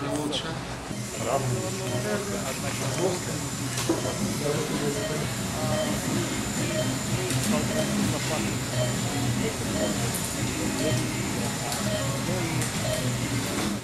количества... Руку пожми мне. Ногой подвигай. Язык вы высуни. Ага. Все нормально? Ничего у тебя не болит, Виталий? В послеоперационном периоде как раз за счет повреждения проводящих путей мы вынуждены поддерживать сознание пациента и на этапе удаления опухоли, как вы видели в этом ролике, периодически проводя а, оценку и сохранности речевой функции, ну, сейчас мы перешли, на мой взгляд, на самый простой и самый эффективный нейропсихологический подход в этом смысле. Мы просто до операции узнаем о, может быть, каких-то интересах пациента, о том, чем он занимается в жизни, и этого может хватить на час интересного разговора о том, что он выращивает на даче, какую музыку он слушает, что он последний раз видел в кино и так далее – что часто бывает интересно не только, скажем так, не только полезно, но и интересно самим анестезиологам. Рецепты из Дагестана, все это всегда, всегда интересно послушать и обсудить. А вот. Ну, то, что касается нейропсихологии, если раньше вот, э, мы достаточно простые тесты выполняли, то сейчас э, коллеги нейропсихологи, нейролингвисты учат нас, что для каждой для каждой из зон, вовлеченных в реализацию речевой функции, необходимы своеобразные специфические тесты. Вот тест называния предметов более актуален, если мы подозреваем потенциальное повреждение височных э, речевых центров, а вот тест формирования глаголов, что делает бабушка на картинке, это более специфично для картирования лобных долей, для выявления моторных зон э, речевого анализатора. Ну, я остановлюсь немножко на осложнениях. Они, естественно, э, есть группа неспецифических достаточно осложнений, которые легко, нелегко, но вполне эффективно предотвращаются, если мы соблюдаем и продумываем все те аспекты, о которых я говорил ранее. Ну а есть специфическая вещь, это развитие интраоперационных судорог, которые зачастую носят драматический характер. Вот как в этом ролике, вы видите экран а, наших нейрофизиологов, артефакт от э, стимула на поверхности коры, который приводит к росту количества спайков и, в общем-то, развитию генерализованных, судорог на столе. А дальше, благодаря помощи наших нейрохирургов, мы способны это дело уменьшить. Каким образом? В основном за счет того, что мы поливаем поверхность мозга ледяным физиологическим раствором. Это точно. Тут, я думаю, что основной фактор это, собственно, температурный, и постепенно электрокортикограмма возвращается к нормальной. А, кроме ледяного раствора, мы, в общем, важный элемент является, собственно, подбор стимула, который использует нейрофизиолог для картирования коры. Раньше мы использовали более высокие значения, сейчас значения пониже. Я думаю, что это э, сыграло роль в том, что уже давно мы не сталкивались с генерализованными судорогами на столе. Ну и плюс сейчас мы рутинно у этих пациентов используем медикаментозную профилактику. в форме введения кепры профилактической на старте нашей операции. Ну и по литературе такой подход тоже, возможно, эффективен, но это тоже, как всегда, в доказательной медицине не точно. Важный аспект, который всегда обсуждается, это отношение пациентов к перенесенному вмешательству. Здесь есть споры, особенно споры возникают у людей, которые никогда не сталкивались с этой методикой, а просто слышат, что краниотомия проводится в сознании. Конечно, это невольно а, вызывает ну, такое сомнение в том, что пациент действительно может а, спокойно ее перенести.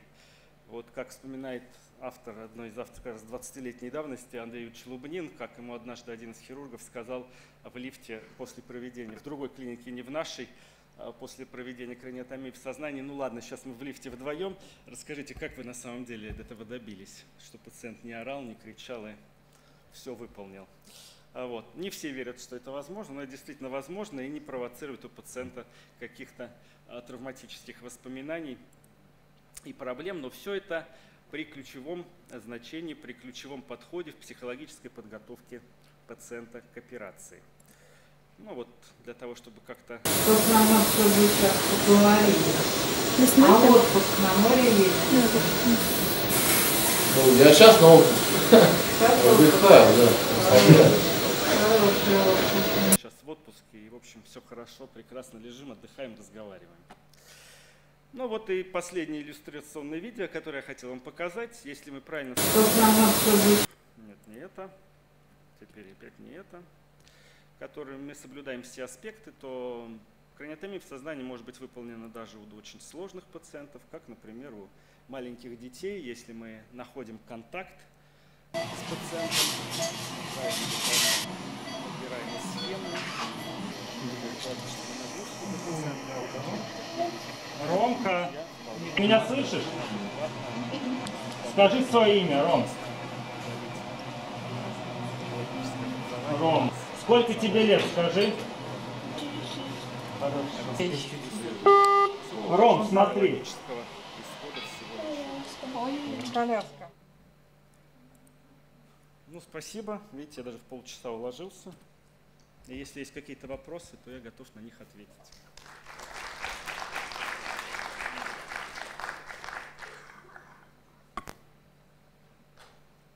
Да, пожалуйста.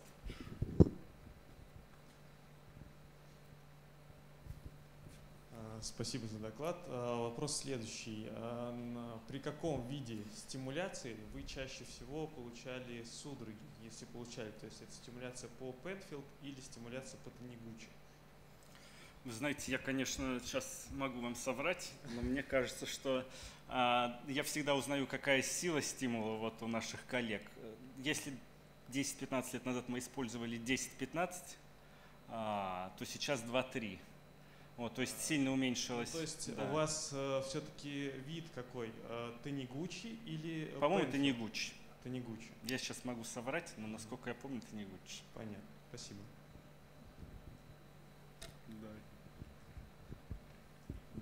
Да. Спасибо большое за доклад, очень здорово. Э, я хотел спросить вот что. Э, представляется большим проблем, большой проблемой э, введение краниотомии в сознании у ожиревших пациентов. С сожалением, вы об этом говорили. Вот я хочу спросить, были ли случаи, когда снимали или там что-то что такое? Потому что короткая шея, нарушение дыхания и так далее. Вот, ну, сложно. Вы знаете, наша идеология, спасибо за вопрос, наша идеология заключается в том, что э, мы в принципе стараемся провести краниотомию в сознании всем пациентам, которым э, как бы это запрашивают хирурги. Да?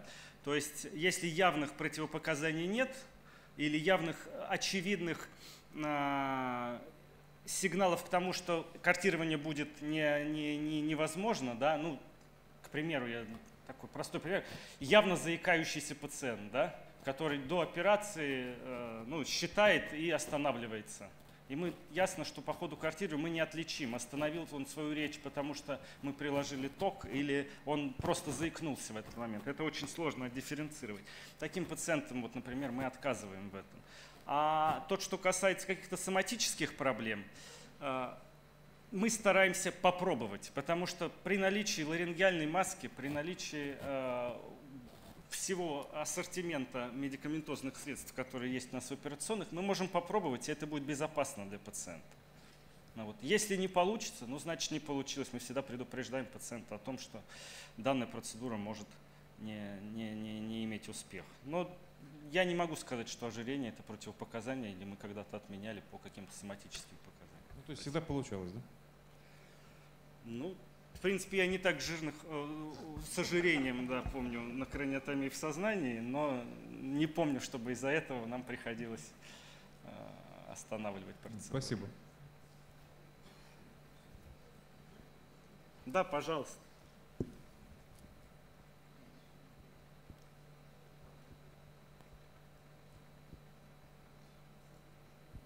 Спасибо за доклад. У меня следующий вопрос. Как часто вам приходилось вести пациентов э, полностью по схеме Awake от начала до конца? И всегда ли требуется после основного этапа удаления опухоли пациента ну, вводить в общую анестезию?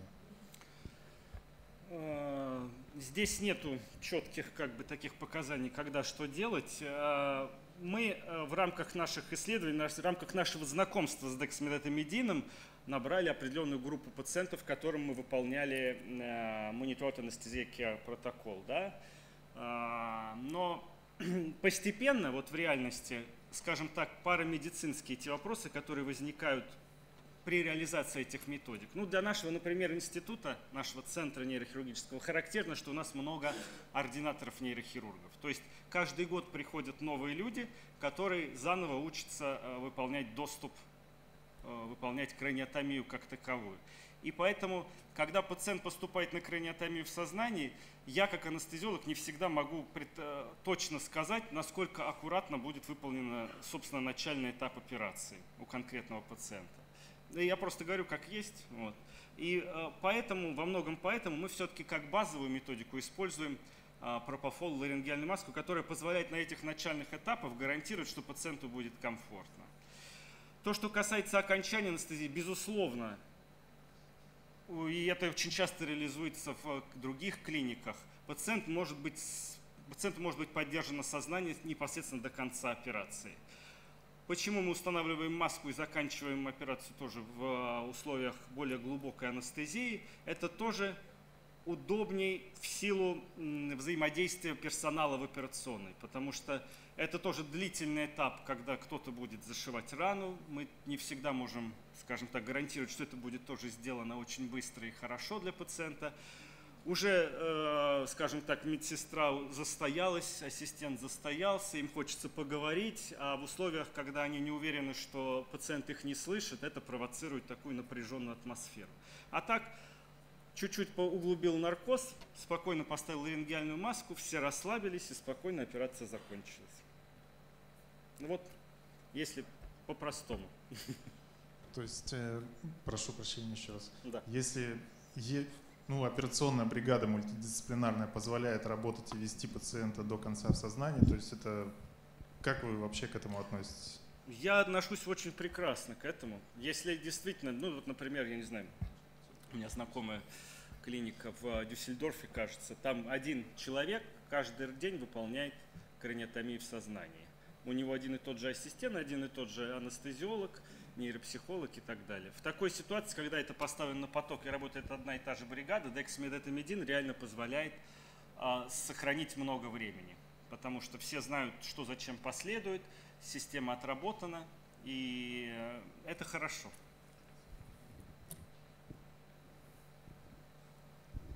Можно еще один вопрос? Да. А, как раз к судорогам. А, существует сейчас работа, есть у вас такой опыт применения, то есть у вас, как понимаю, второй линии защиты после воды у вас а, малые дозы бензодиазепинов были? Нет. Мы всем пациентам назначаем кепру на стартовых этапах операции. Вот. А, а, а если вот развивать, если, если, физио... если развились судороги, Э, у вас э, э, по линиям купирования это вода. Да, а потом, да, если развивается бензодиазепин. А да. Есть ли у вас опыт применения болюсного введения вальпроатов во время Есть. судорог? Есть несколько раз, но не могу сказать, что это было очень успешно. Спасибо. Бензодиазепины, я в чем я поясню для аудитории. Если мы уже ввели бензодиазепины, это значит, что мы в принципе подписались под тем, что дальше картирование вряд ли будет возможно, потому что пациент уже будет дезориентирован после бензодиазепинов. Поэтому вот попытка сделать вольпраты на фоне развития судорог, она имеет смысл, но я бы не сказал, что это было успешно. Это мой опыт, на моем опыте. Кто? А, ну есть он, да.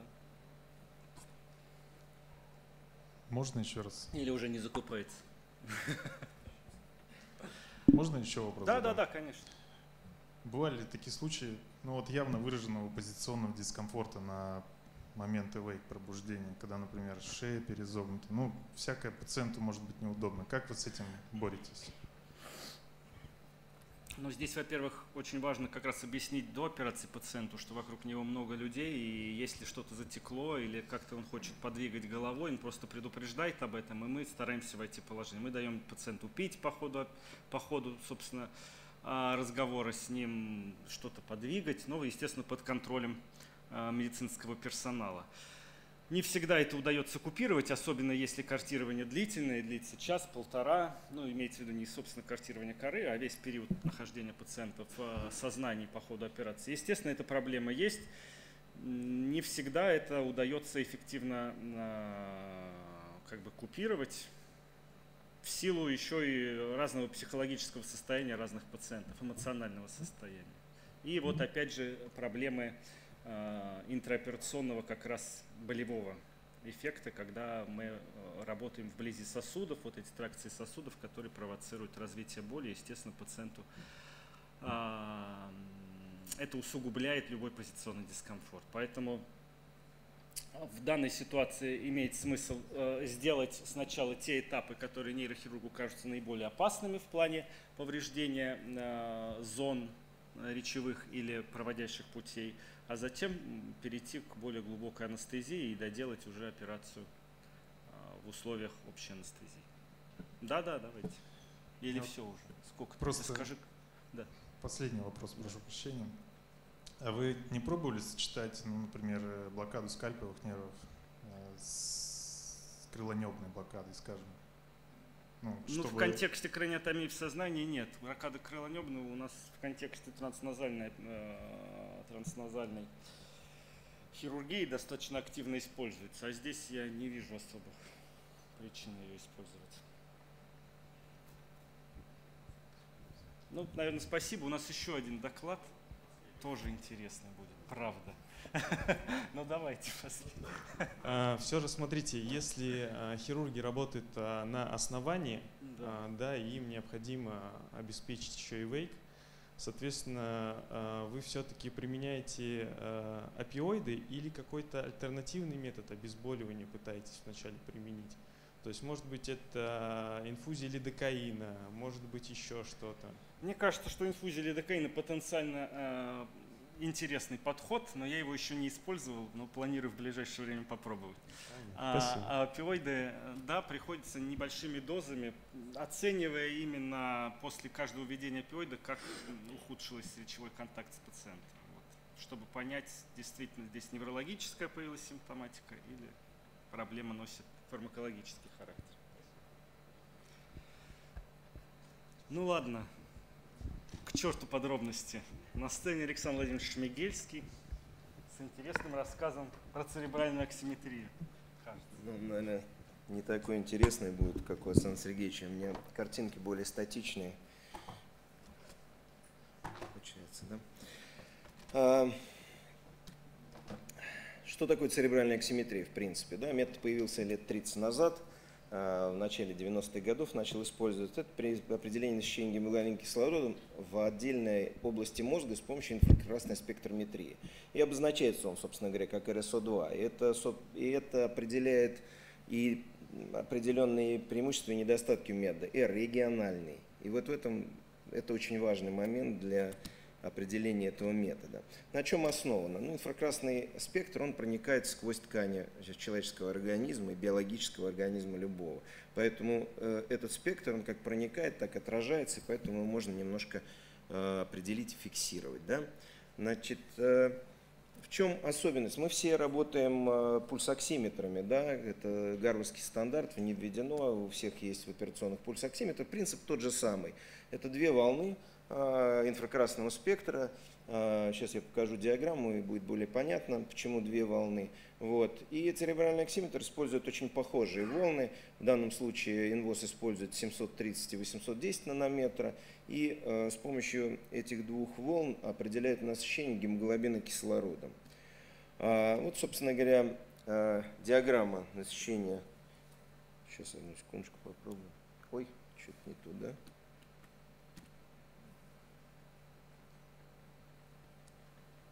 Вот. Значит, если посмотрим, 730 это диссоциация есть между гемоглобином и оксигенированным гемоглобином, она 820 и тот и другой гемоглобин имеют одинаковый спектр поглощения. Собственно говоря, это и позволяет и как пульс оксиметру, так и э, церебральной оксиметрии определить насыщение гемоглобина кислородом. Почему происходит такая ситуация? Почему диссоциация? Да потому что кислород Э, когда присоединяется к гемоглобину, он э, добавляет отрицательный заряд и меняет стереометрическую форму гемоглобина. И гемоглобин приобретает другие физические свойства, он по-другому поглощает свет, в данном случае вот в этом спектре излучения. И, собственно говоря, это и определяет ситуацию и позволяет э, определять э, насыщение гемоглобина. Значит, что представляет собой э, в примитиве этот сенсор? Это излучатель, который сразу два две спектры волны излучает, и два приемника. И дальше мы берем просто, э, получаем два отражения, два, два сигнала, из одного вычитаем другой, получаем вот эту вот э, часть, которую анализирует церебральный оксиметр. Сразу оговариваемся. Во-первых, это фиксированная часть, где стоит датчик раз. Во-вторых, это определенная глубина, ни глубже, ни поверхностней. И поэтому есть определенное ограничение методики. Что мы смотрим инфракрасной спектрометрии? Если взять срез мозга, то э, он представляет где-то 10% артериол, 10% капилляров, ну 10-15 возьмем, 10-15, 10-15 и где-то 80-70% венозной крови. То есть практически э, в срез э, луча попадает в основном венозная кровь. И, собственно говоря, это очень важно, потому что если возникает церебральный